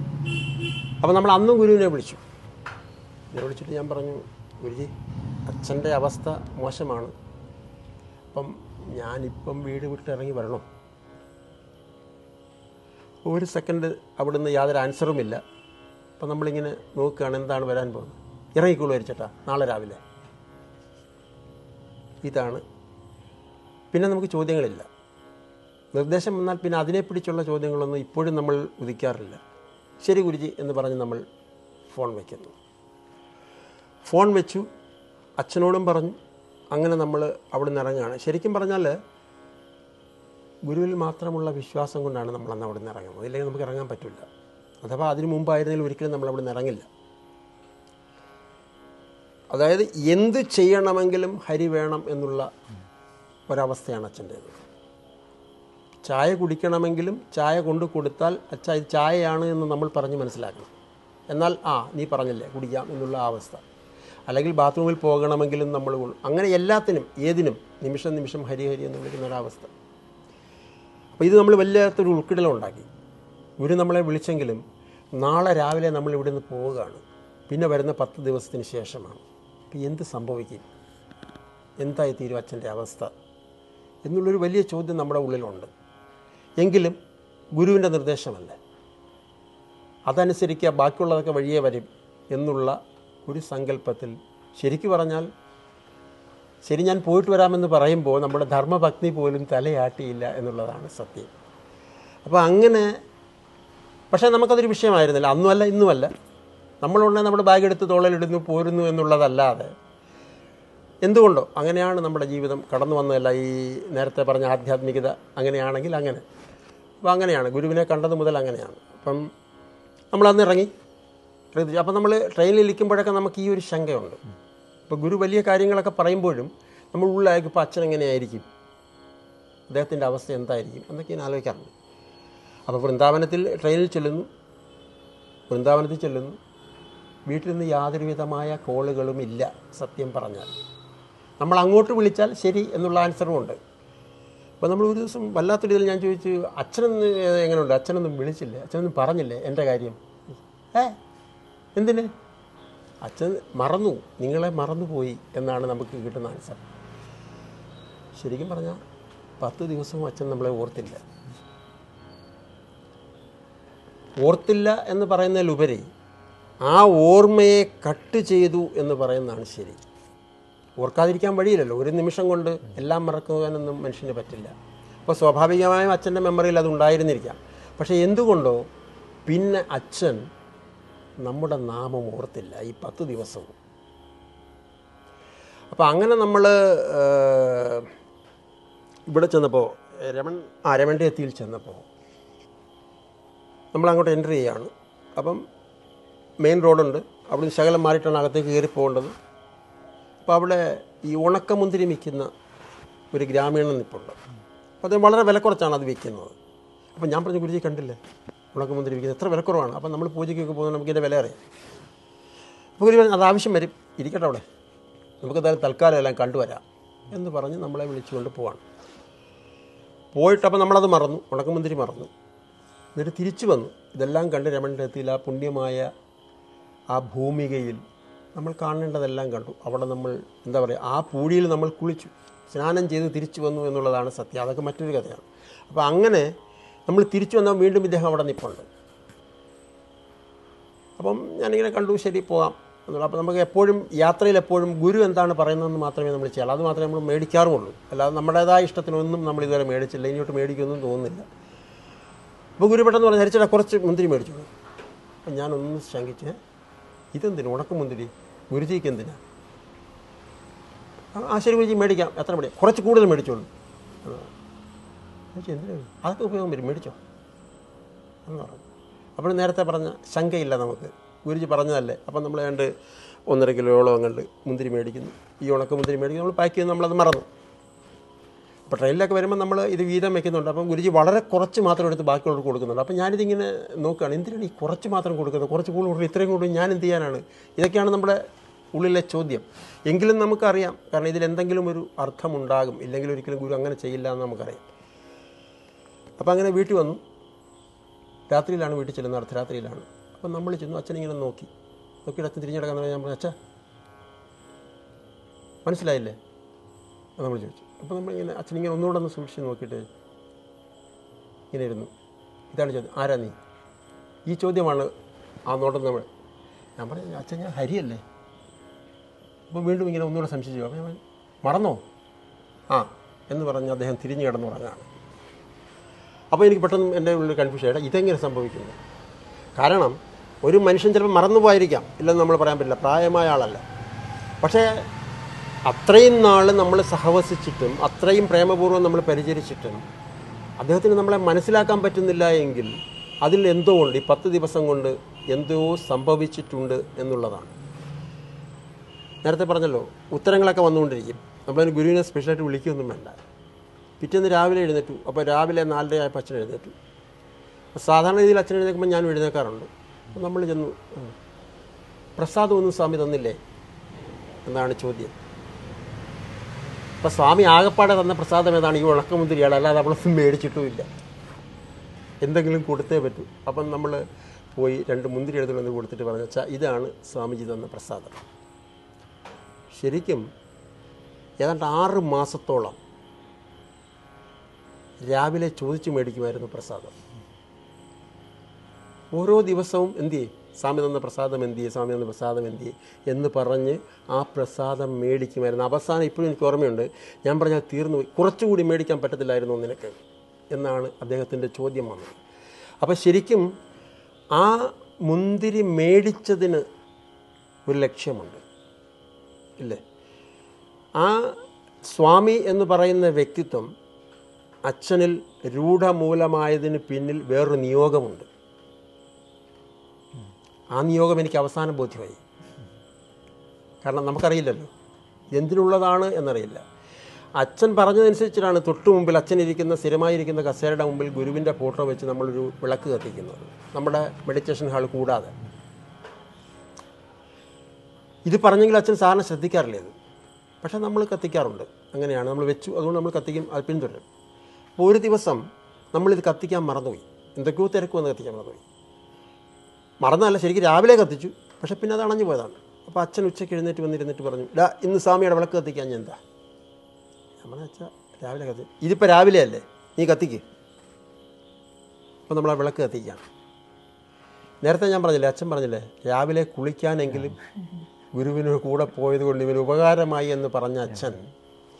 അവസാന കാലങ്ങളിൽ നമ്മൾ മീറ്റ് മീ മെഡിറ്റേഷൻ സെന്ററിലേക്ക് വരികയാണ് ഗുരുവിനെ കാണാൻ പോവുകയാണ് എന്ന് പറയുമ്പോൾ അദ്ദേഹം ചോദിക്കുമായിരുന്നു സ്വാമിയോട് അച്ഛന്റെ കാര്യം കൂടെ നീ ഒന്ന് പറഞ്ഞേക്കണേ എന്ന് പറയുമായിരുന്നു. എന്തുകൊണ്ടോ എങ്ങനെയാണ് സംഭവിച്ചതെന്നറിയില്ല വലിയ റവല്യൂഷൻ സംസാരിക്കുകയും അതിനനുസരിച്ച് പ്രവർത്തിക്കൊണ്ടിരുന്ന അച്ഛന് ഗുരു എങ്ങനെയോ കയറിപ്പറ്റി. ഗുരു എങ്ങനെയോ കയറിപ്പറ്റി. അവസാന നാളുകളിൽ നമ്മൾ എന്ത് പറഞ്ഞാലും വളരെ ശ്രദ്ധാപൂർവം അച്ഛനത് കേൾക്കും. ഗുരുവിനെക്കുറിച്ച് പറഞ്ഞാലും ഗുരുവിനെക്കുറിച്ച് പറഞ്ഞാൽ കുറേ കൂടെ നമ്മൾ അതിനകത്തിൽ അദ്ദേഹത്തിന് താല്പര്യം എന്നതുപോലെ സംസാരിക്കും. പക്ഷേ നമ്മൾ അന്നും കുറച്ചേ സംസാരിക്കും. കാരണം ഇത് സംസാരിക്കാവുന്നൊരു വിഷയമല്ലല്ലോ. ഗുരുവിന്റെ കാര്യം സംസാരിക്കാവുന്നൊരു വിഷയമല്ല നമുക്ക്. അപ്പോൾ അങ്ങനെ എനിക്ക് വലിയ ആഗ്രഹം ഉണ്ടായിരുന്നു. കാരണം അച്ഛന്റെ അവസാന കാലത്ത് ഗുരു എന്ന് പറയണം അപ്പോൾ എനിക്ക് തോന്നുന്നു നമ്മുടെ ആനന്ദധാം ആശ്രമത്തിൽ പോകാനാണ് തോന്നുന്നു ഒരു പ്രാവശ്യം ഗുരു വന്നു ലാസ്റ്റിൽ. വന്നപ്പോൾ ഗുരു അച്ഛനെ വന്ന് കണ്ടു. അപ്പം അച്ഛൻ എന്തുണ്ട് വിശേഷം? ഇപ്പോൾ ഓർമ്മയൊന്നുമില്ല. എങ്കിലും ഞാൻ ഓർക്കുന്നുള്ളൂ സ്വാമിയെ എന്ന് ഗുരുവിന്റെ അടുത്ത് പറഞ്ഞു. അങ്ങനെ ഗുരുജി പോന്നു. എങ്കിലും നമുക്കൊരാഗ്രഹം ഉണ്ടായിരുന്നു എപ്പോഴെങ്കിലും ഈ സമയത്ത് വന്നിരുന്നെങ്കിൽ കൊള്ളാമായിരുന്നു എന്നൊരാഗ്രഹം നമുക്കുണ്ടായിരുന്നു. ഇതൊക്കെ ഒരു പക്ഷേ സങ്കല്പിക്കാമെന്നൊക്കെ ആൾക്കാർ പറയുമായിരിക്കാം. പക്ഷെ അനുഭവിക്കുന്നതിന് മാത്രമേ അതിന്റെ മാധുര്യം മനസ്സിലാവത്തുള്ളൂ. അല്ലാത്ത ഒരാൾക്കും ഇത് പിടികിട്ടത്തില്ല. അപ്പോൾ ഒരു മൂന്ന് ദിവസം മുമ്പ് അച്ഛൻ മരിക്കുന്നതിന് ഒരു മൂന്ന് ദിവസം മുമ്പ് നമ്മൾ പെട്ടെന്നൊരു മൂന്നേകാലായപ്പം പെട്ടെന്ന് ഉണർന്നു അന്ന് ശരിക്ക് പറഞ്ഞാൽ നമ്മൾ ഭൂമുഖത്ത് ഒരു പായൽ കിടക്കുകയാണ്. വെറും പായൽ കിടക്കുകയാണ്. വേറെ ഒന്നും നമുക്ക് ആവരണമായിട്ടില്ല. നമ്മൾ അങ്ങനെ ശീലമാക്കി. കാരണം അച്ഛൻ വയ്യാകിരിക്കുന്നതുകൊണ്ട് അങ്ങനെ ആകാം എന്നുള്ള രീതിയിൽ നമ്മളങ്ങനെ കിടക്കുമ്പോൾ പെട്ടെന്ന് മൂന്നേരപ്പോഴേ അപ്പം നമ്മൾ എന്താ പറയുക സഹസ്രാരത്തിൽ എന്തോ ഒരു വലിയ വിങ്ങൽ നമുക്ക് അനുഭവപ്പെട്ടു. വിങ്ങൽ എന്ന് പറഞ്ഞാൽ എങ്ങനെയാണോ ഒരു ടു ഫോർട്ടി വോൾട്ടുള്ള ബൾബ് കത്തിയാൽ എങ്ങനെയാണോ അത് നമുക്ക് ഫീൽ ചെയ്യുന്നത് അതുപോലെ നമുക്ക് ഫീൽ ചെയ്തു. അപ്പം നമ്മൾ അതിന്റെ കാരണത്തെക്കുറിച്ച് ആലോചിച്ചെങ്കിൽ നമ്മൾ എന്നും ചെയ്യുന്നത് പോലെ നമ്മൾ കുറേ സമയം മെഡിറ്റേഷൻ ചെയ്തു. കുറേ സമയം മെഡിറ്റേഷൻ ചെയ്തെന്ന് പറഞ്ഞാൽ കുറേ സമയം വെറുതെ ഇരുന്നു. അങ്ങനെ ആ ഒരു പോക്കിൽ പോയി. കണ്ടൊരു അഞ്ച് മണിയോളമായി കാണും നമ്മൾ അതിൽ നിന്നൊന്ന് ഇതായി. അപ്പം ഈ സ്പന്ദനത്തിന്റെ ഇന്റൻസിറ്റി വളരെ കുറഞ്ഞു. അപ്പം നമുക്ക് പെട്ടെന്ന് തോന്നി അച്ഛനെ ഒന്ന് കാണുമല്ലോ. അച്ഛനെ പോയി നോക്കിയപ്പോൾ അച്ഛൻ അങ്ങനെ കിടക്കുകയാണ്. അപ്പോൾ നമ്മൾ ഗുരുവാദി നോക്കിയപ്പോൾ അവിടെ ഒരു ശകലം ഭസ്മം ഉണ്ടായിരുന്നു. അതിൽ അങ്ങനെ വന്നു എന്ന് എനിക്ക് ഇപ്പോഴും അറിയത്തില്ല. അതിൽ അതിശയോക്തിയല്ല. എന്തോ ഭസ്മം ഉണ്ട് അവിടെ. ഒരു പക്ഷേ നമ്മുടെ കുടുംബാംഗങ്ങളൊക്കെ തൊടുമ്പോൾ അവിടെ കൊണ്ടിട്ടതാകാം. അല്ലെങ്കിൽ അത് വരേണ്ടതായിരുന്നിരിക്കാം. എന്തോ ആകട്ടെ അതിനെക്കുറിച്ച് നമ്മൾ ചിന്തിക്കേണ്ട. അങ്ങനെ നമ്മൾ തൊടുന്ന വിരലിനകത്തിൽ ഒരല്പം ഭസ്മം എടുത്ത് ഇതൊന്നും നമ്മളായിട്ട് ചെയ്യുന്നതല്ല വിചാരിച്ച് ചെയ്യുന്നതേ അല്ല. നമ്മളപ്പം കൊണ്ടു ചെന്നു അച്ഛന്റെ നെറ്റിയിൽ ഇങ്ങനെ നമ്മൾ എങ്ങനെയാണോ ഗുരു തൊടുന്നത് അതേ രീതിയിൽ നമ്മൾ അപ്പം തൊടിയിക്കുകയാണ്. അപ്പോൾ പെട്ടെന്ന് അച്ഛൻ ഒന്ന് ഞെട്ടി. ഞെട്ടി ഒന്ന് ഉണർന്നിട്ട് വീണ്ടും കണ്ണടച്ച് അങ്ങനെ സുഖമായിട്ട് കിടന്നു. അപ്പോൾ ഞാൻ ചോദിച്ചു അച്ഛന് ഉറക്കം വരുന്നുണ്ടല്ലേ? പറഞ്ഞു ആ ഉണ്ട്. എന്നാൽ ഞാൻ ഉറങ്ങട്ടെടാ. എന്ന് ചോദിച്ചു. ഞാൻ പറഞ്ഞു ആ ശരി. എന്നാൽ നീ ഒരു കാര്യം ചെയ്യും. ശകലം വെള്ളം താ. വെള്ളം കുടിച്ചിട്ട് അങ്ങ് ഉറങ്ങാം എന്ന് അപ്പോൾ നമ്മൾ പച്ചവെള്ളം പോയി പച്ചവെള്ളം എടുത്തുകൊണ്ട് വന്നിട്ട് ഒരു മൂന്ന് തുള്ളിയോ തുള്ളി എന്ന് പറഞ്ഞാൽ ഗ്ലാസ് ചരിച്ച് മൂന്ന് പ്രാവശ്യം കൊടുക്കുന്നു. മതി എന്ന് കൈ കാണിച്ചു. അച്ഛൻ തിരിഞ്ഞ് കിടന്നുറങ്ങുന്നു. നമ്മൾ പോകുന്നു. നമ്മൾ മറ്റു പൂജാകാര്യങ്ങൾക്കുമായിട്ട് പോകുന്നു. പോയി അവിടെ ചെല്ലുമ്പോൾ പിറ്റേന്നുള്ള സപ്താഹത്തിന്റെ കൊട്ടിലിന്റെ പൂജകളും മറ്റുള്ള കാര്യങ്ങളെല്ലാം നമ്മളാണ് ചെയ്യേണ്ടത്. ശരിക്കും നമുക്ക് ഇറങ്ങാൻ മനസ്സില്ല. കാരണം നമ്മൾ നമ്മുടെ പ്രീതിയോട് പറഞ്ഞിട്ടാണ് പോകുന്നത്. അച്ഛനെ ശ്രദ്ധിക്കണം. നമുക്ക് പറയാൻ പറ്റില്ല പക്ഷെ അച്ഛനെ ശ്രദ്ധിക്കണം എന്ന് പറഞ്ഞിട്ടാണ് പോകുന്നത്. നമ്മൾ അവിടെ ചെന്ന് ആ കുട്ടിലിൽ നമ്മൾ കൃഷ്ണനെ ഭഗവാനെ സ്ഥാപിച്ച് അതിന്റെ മുമ്പിൽ പ്രതിഷ്ഠാവിളക്ക് സ്ഥാപിച്ച് ഭഗവാന് സ്വസ്തികമിട്ട് ഭഗവാന്റെ എന്താ പറയുക പീഠമൊരുക്കി ഗണപതിയെയും ഗുരുവിനെയും സ്ഥാപിക്കുകയാണ്. ഏതാണ്ട് ഒരു ഏറ്റവും കുറഞ്ഞത് ഒരു അൻപത് വർഷത്തെ പരിചയം നമുക്ക് ഇക്കാര്യത്തിലുണ്ട്. ഏറ്റവും കുറഞ്ഞത്. കാരണം അപ്പൂപ്പന്റെ കൂടെ പോയി വരെ ഗുരുവിനെയും ഗണപതിയെയും നമ്മൾ പത്മം വരച്ചിട്ട ഒരു വ്യക്തിത്വമാണ്. ജീവിതത്തിൽ ആദ്യമായിട്ട് സ്ഥാനം മാറുകയാണ് ഗുരുവിന്റെയും ഗണപതിയുടെയും. ഒരിക്കലും നമ്മുടെ ജീവിതത്തിൽ സംഭവിക്കാത്ത കാര്യം സംഭവിക്കത്തില്ല എന്ന് ഉറച്ചു വിശ്വസിച്ച കാര്യം പക്ഷെ സംഭവിച്ചു. അപ്പോൾ നമുക്ക് പെട്ടെന്ന് മനസ്സിനൊരു ഒരു വല്ലാത്തൊരു എന്താ പറയുക ഒരു ഒരു വിശേഷ ഭാവം നമ്മൾ വന്നു. അപ്പോൾ നമ്മൾ അദ്ദേഹത്തോട് എന്നിട്ട് പറഞ്ഞു അമ്പലത്തിന്റെ അദ്ദേഹത്തോട് ചെന്ന് ചേട്ടനോട് എന്ന് പറഞ്ഞു ചേട്ടാ എനിക്ക് അത്യാവശ്യം പെട്ടെന്ന് വീട്ടിൽ പോകണം എന്ന് പറഞ്ഞു. അപ്പോൾ പ്രീതി വിളിക്കുന്നു. വിളിച്ചിട്ട് പറഞ്ഞു ചേട്ടാ വരണം. അപ്പോൾ നമുക്ക് മനസ്സിലായ കാര്യങ്ങളാണല്ലോ. അപ്പോൾ നമ്മൾ പറഞ്ഞു കണ്ണ് തിരുമ്മിയടയ്ക്കുക അങ്ങനെയുള്ള കാര്യങ്ങളെല്ലാം ചെയ്യണം എന്നൊക്കെ നമ്മൾ നിർദ്ദേശം കൊടുത്തിട്ട് നമ്മൾ പെട്ടെന്ന് വരികയാണ്. വന്ന് ശരിക്ക് പറഞ്ഞാൽ നമ്മുടെ അമ്മാവന്റെ മകനടുത്തുണ്ട് നമ്മൾ പറയല്ലോ കണ്ണ് തിരുമ്മി അടയ്ക്കണം എന്ന് പറയും. രണ്ട് പ്രാവശ്യം അവൻ തിരുമ്മി അടച്ചു.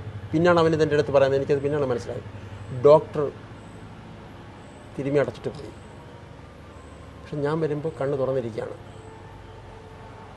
നമ്മൾ അച്ഛന്റെ വലതു ഭാഗത്ത് നിന്ന് നമ്മൾ നോക്കിയാൽ നമ്മളെ നോക്കി നിൽക്കുന്ന അവസ്ഥയാണത്. അപ്പം നമ്മൾ പെട്ടെന്നൊരു എന്താ പറയുക ഒരു ചുംബനമൊക്കെ കൊടുത്ത് കാലിൽ തൊട്ട് തൊഴുത് നമ്മൾ സാധാരണ പോലെ എല്ലാം ചെയ്യണം അപ്പോഴും അവസ്ഥ അതാണ്. പിറ്റേന്ന് രാത്രി എട്ടരയ്ക്ക് സംഭവിക്കുന്നു. ഒമ്പതേകാലം മുതൽ ഞാൻ വരുന്നു. അതിന്റെ കാര്യങ്ങളൊക്കെ ആയിട്ട് ഇങ്ങനെ പോവുകയാണ് അപ്പോൾ പലരും ചോദിക്കേണ്ടത് എന്താണ് കണ്ണ് തിരുമ്മി അടയ്ക്കുന്നത് അപ്പം ഞാൻ പറഞ്ഞു എന്തോ അറിയില്ല ഞാൻ ഇവിടെ പറഞ്ഞു അപ്പോഴാണ് ഈ അമ്മാന്റെ മാമ വന്നിട്ട് പറഞ്ഞു ഞാൻ രണ്ട് പ്രാവശ്യം തിരുമ്മി അടച്ചാണ് ചേട്ടാ. അപ്പോൾ പ്രീതി പറഞ്ഞു ഡോക്ടർ തിരുമ്മി അടച്ചാണല്ലോ. എന്നും പറഞ്ഞു. അപ്പം നമുക്ക് ഇപ്പം ഇതൊക്കെ കേൾക്കുമ്പോൾ വലിയ അത്ഭുതമായിട്ടൊന്നും തോന്നില്ല എന്തെങ്കിലും ഉണ്ടാകാം എന്ന് മാത്രം നമ്മൾ ധരിക്കും. അങ്ങനെയാണ് സാധാരണ പതിവ്.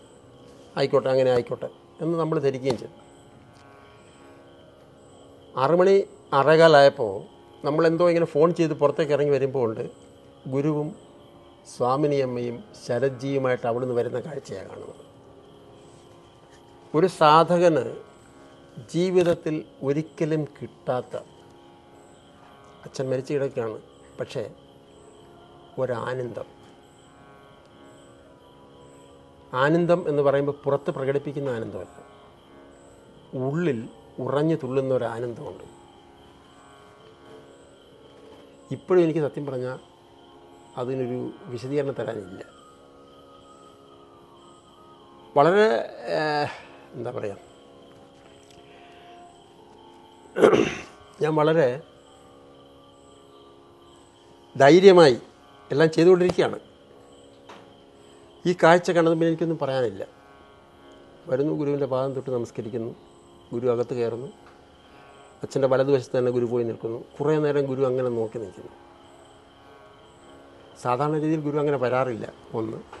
രണ്ടാമത്തെ കാര്യം ഒരിക്കലും അങ്ങനെ നോക്കി നിൽക്കാറില്ല ഇതെനിക്ക് കൺഫ്യൂഷൻ ആവുന്നുണ്ട്. പക്ഷേ പലരും വന്ന് വിളിക്കുമ്പോൾ അതിന്റെ കാര്യങ്ങൾ പറയും വീണ്ടും ഞാൻ ചെന്ന് നോക്കുന്നുണ്ട് ഗുരു അവിടെ നിൽക്കുകയാണ്. അപ്പോൾ അവിടെ തന്നെ നിൽക്കണം. അപ്പം വീണ്ടും ഞാൻ ഇങ്ങനെ ആലോചിക്കും എന്താണ്? പത്ത് മിനിറ്റോളം ഗുരു അവിടെ നിന്നിട്ടുണ്ടാകും പത്തോ പതിനഞ്ചോ മിനിറ്റ് അടുത്ത് നിന്നിട്ടുണ്ടാകാം. ഗുരു ഇറങ്ങി വരുന്നു. ഭാരിച്ചയുടെ അച്ഛൻ ഇവിടെ നിൽക്കൂ. കൂടെ വരണ്ട. ഇവിടെ നിൽക്കൂ എന്ന് പറഞ്ഞിട്ട് ഗുരുവും സാധകരൂടെ തിരിച്ചു പോവുകയാണ്. തിരിച്ച് കാറിൽ അവർ കാര്യം കാണത്തില്ല. അപ്പം തന്നെ ഡോക്ടർ വരികയാണ്. ഒരു സിസ്റ്ററിനെ കൊണ്ട്. ആരും വിളിച്ച് പറഞ്ഞിട്ടൊന്നുമല്ല വരുന്നു. എന്നെപ്പോലും മൈൻഡ് ചെയ്യാതെ അകത്ത് കയറുന്നു. ആ മൊബൈൽ മോർച്ചറിയുടെ ഗ്ലാസ് തുറക്കുന്നു. കണ്ണ് തിരുമ്മി വയ്ക്കുന്നു അടയ്ക്കുന്നു. ശരി ശർമ്മ എന്ന് പറഞ്ഞ് അവരിറങ്ങി പോകുന്നു. ഞാൻ എന്തോ പറയാൻ ശ്രമിക്കുന്നുണ്ട്. അവർ ശ്രദ്ധിക്കുന്ന പോലുമില്ല. അവരിറങ്ങി പോകുന്നു. സ്വാഭാവികമായും ഈ കാഴ്ച അത് അന്നേരം ആ കണ്ണടഞ്ഞു. ഇപ്പം നമ്മുടെയൊക്കെ സങ്കല്പം വെച്ച് പറഞ്ഞാൽ ഒരു വ്യക്തി മരിച്ചാൽ പത്ത് ദിവസം ആ ആത്മാവ് അതിന് ചുറ്റിനും ഉണ്ടാകുമെന്നാണ്. സങ്കല്പമായിരിക്കാം അല്ലെങ്കിൽ എന്തോ ആയിക്കോട്ടെ അപ്പം നമ്മൾ ചെയ്യുന്നത് അങ്ങനെയാണ്. ഓരോ ദിവസവും നമ്മൾ ബലിയിട്ട് ഓരോ അവയവം പുനരുജ്ജീവിപ്പിച്ച് സൂക്ഷ്മ ശരീരത്തിന് ഓരോ അവയവം അവസാനം നമ്മൾ പത്താം ദിവസം അതിന് ജീവൻ കൊടുക്കുകയാണ് പതിവ്. അച്ഛൻ ആഗ്രഹിച്ചിരുന്നു ഗുരുവിനെ കാണണം. അതച്ഛന്റെ ആഗ്രഹമായിരുന്നു. വരില്ലേ എന്ന് എന്റെ അടുത്ത് ചോദിച്ചാണ് സ്വാഭാവികം എപ്പോഴും പറയുന്നത് പോലെ ഞാൻ പറഞ്ഞു ഗുരു വരും. വരാതിരിക്കില്ല അച്ഛാ വരും. എന്ന് ഞാൻ പറഞ്ഞു. അപ്പോൾ അങ്ങനെയാണ് എനിക്ക് എഴുന്നേറ്റ് നടക്കാൻ പറ്റുമോ ഞാൻ പറഞ്ഞു പിന്നെ പറ്റുമല്ലോ പറ്റണ്ടേ? എന്ന് ഞാനിങ്ങനെ അപ്പം മനസ്സിൽ അച്ഛൻ ആ ഒരു ആഗ്രഹം ഉണ്ടായിരുന്നു. ഒരു പക്ഷേ ഞാൻ വിശ്വസിക്കുന്നത്. അതെല്ലാവരുടെയും വിശ്വാസമാകണം എന്ന് നിർബന്ധമില്ല. എല്ലാവരും അങ്ങനെ വിശ്വസിക്കണമെന്ന നിർബന്ധവും ഗുരുദാസനില്ല. ഒരു വൈകുണ്ഠാദേശത്തിന് ഭഗവാൻ വന്നു പോകേണ്ടതുണ്ടായിരുന്നു. വന്നുപോയി. നമ്മൾ കാഴ്ചക്കാരൻ. ഇതാണ് നമ്മളതിൽ നിന്ന് മനസ്സിലാക്കുന്ന സത്യം. അമ്മയുടെ കാര്യത്തിലായാലും നേരത്തെ ഗുരു പറഞ്ഞിരുന്നു. ആത്മീയ തലത്തിൽ ചിന്തിക്കാൻ ഹരിച്ചനോട് പറയണം. പറഞ്ഞാൽ ദുഃഖിക്കേണ്ടി വരില്ലേ ദുഃഖിക്കേണ്ടി വരും എന്ന് പറഞ്ഞു ആ ദുഃഖത്തിൽ നിന്നാണ് ശരിക്കും പറഞ്ഞാൽ ആത്മീയ ജീവിതത്തിൽ കനലായി അത് മാറിയത്. അപ്പോൾ ഞാൻ പറഞ്ഞു വന്നത് ഇവിടെ ഞാൻ ഇരുന്നപ്പോൾ ഞാൻ ഒന്നും കൊണ്ടല്ല ഇരുന്നത് എന്റെ ഉള്ളിലൊന്നുമില്ലായിരുന്നു പക്ഷേ എന്റെ ഉള്ളിലുള്ളതെല്ലാം എനിക്ക് പറയാൻ പറ്റി. എന്തുകൊണ്ടാണ്? നമ്മുടെ നാക്കല്ല. നമ്മുടെ ചിന്തകളല്ല. അല്ലെങ്കിൽ നമ്മൾ സങ്കല്പിച്ച് കൂട്ടുന്ന കഥകളല്ല നമ്മുടെ ഉള്ളിൽ നിന്ന് വരുന്നത്. നമ്മൾ ഇതുവരെ ചെയ്ത ഒരു യാത്ര. ആ യാത്രയിൽ ഗുരുവിന്റെ സാന്നിധ്യം. ഒരനുഭവമായി ഗുരു നമ്മളെ പിന്തുടരുമ്പോൾ അല്ലെങ്കിൽ നമ്മളെ നയിക്കുമ്പോൾ പിന്തുടരുകയല്ല ശരിക്കും പറഞ്ഞാൽ നയിക്കുമ്പോൾ സാധകന് ഓരോ നിമിഷവും അനുഭവങ്ങളായിരിക്കും. ആ അനുഭവങ്ങൾ നമ്മൾ ഒരാളെ പറഞ്ഞ് മനസ്സിലാക്കാൻ ശ്രമിച്ചാൽ ഗുരു പറഞ്ഞു തന്നിട്ടില്ലേ നമുക്ക്? മൗനം. ശാന്തസുന്ദരമായ മൗനത്തിലേക്കൊരു സാധകൻ പോയാൽ മാത്രമേ അവന്റെ അനുഭവങ്ങളുടെ മനനം അവൻ നടക്കൂ. അതുകൊണ്ട് ആ ഒരു അനുഭവത്തെ ഗുരു എന്ന് പറയുന്ന അനുഭവത്തെ കഴിയുമെങ്കിൽ സംസാരം ഒഴിവാക്കി. പൂർണമായി ആ നിമിഷം കൂടി അതിനെ അനുഭവിക്കാൻ സാധകൻ തയ്യാറായാൽ അവന് ലക്ഷ്യമില്ല യാത്രയേ ഉള്ളൂ വളരെ ആദ്യം പറഞ്ഞതുപോലെ ആ യാത്രയിൽ ഉള്ളതിനെ നമുക്ക് തിരിച്ചറിയാൻ പറ്റും. തിരിച്ചറിഞ്ഞാൽ പിന്നെ നമ്മളതായി മാറും. അതായിരിക്കണം ഓരോ സാധകന്റെയും ലക്ഷ്യം. ഇതാണ് ഗുരുദാസിന്റെ അപേക്ഷ. ഹരി തുടക്കത്തിൽ പറഞ്ഞ പോലെ ഒരു സാധകന്റെ എക്സ്പീരിയൻസാണ് ഓരോ സാധകരെയും അവന്റെ കൂടെയുള്ള കോ സാധകരെ മുന്നോട്ട് നയിക്കുന്നത്. ഇത്രയും വർഷത്തെ ആ ഒരു എക്സ്പീരിയൻസ് ആണ് ഗുരുദാസ് ജി ഈ ചുരുങ്ങിയ സമയം കൊണ്ട് പറഞ്ഞത്. പക്ഷേ ആ ചുരുങ്ങിയ സമയത്ത് നമുക്ക് ലഭിച്ചതോ? നമുക്ക് മുന്നോട്ട് പോകാനുള്ള പ്രചോദനമാണ്. എങ്ങനെയായിരിക്കണം ഒരു സാധകൻ ഗുരുവിൽ സമർപ്പിച്ച് ജീവിക്കേണ്ടത്? അവന്റെ ഓരോ നിമിഷവും. അതാണ് ഗുരുദാസ് ഇത്രയും നേരം പറയാൻ ശ്രമിച്ചത്. എന്തുകൊണ്ടാണ് അദ്ദേഹം ഹരികുമാർ ശർമ്മയിൽ നിന്നും ഗുരുദാസൻ ഗുരുദാസ് ജി എന്ന് പറയുന്ന ആ ഒരു നാമധേയത്തിലേക്ക് ഉയർത്തപ്പെട്ടത് അല്ലെങ്കിൽ ആ പേരിൽ അറിയപ്പെടാൻ കാരണം എന്ന് നമുക്ക് അദ്ദേഹത്തിന്റെ ഈ സത്സംഗത്തിൽ നിന്ന് മനസ്സിലാവും. ഓരോ സാധകർക്കും ഈ ഒരു സത്സംഗം ഒരു മുതൽക്കൂട്ട് തന്നെയാണ്. ഗുരുദാസ് ജിയുടെ ഓരോ വാക്കും ഓരോ സാധകരും ജീവിതത്തിലുടനീളം പകർത്തും എന്ന് ഉറപ്പാണ്. അതിന് ഇത്രയും നേരം നമ്മളോട് ഈ സത്സംഗത്തിന് അവസരം നൽകിയതിന് അദ്ദേഹത്തിന്റെ പാദങ്ങളിൽ കോടി കോടി പ്രണാമങ്ങൾ അർപ്പിക്കുന്നു. ഗുരുദാസിനും ഇങ്ങനൊരു അവസരം. അവസരം എന്ന് പറഞ്ഞാൽ നേരത്തെ പറഞ്ഞില്ലേ? നമ്മളൊന്നും അറിഞ്ഞുകൊണ്ടല്ല പറയുന്നത്. ഒന്നും കൊണ്ടല്ല നമ്മൾ വന്നത്. കൊണ്ടല്ല പോകുന്നത്. നമ്മൾ യാത്ര തുടരുകയാണ്. ഇതും ആ യാത്രയിലെ ഒരു പാതയെ. അത് വളരെ വളരെ ശിരസ് കുനിച്ച് വിനീതമായി ഗുരുവിൽ നിന്നും ഏറ്റുവാങ്ങുന്നു. ആ പാതാരബിന്ദങ്ങളിൽ സാഷ്ടാംഗ പ്രണാമം ഗുരുവും.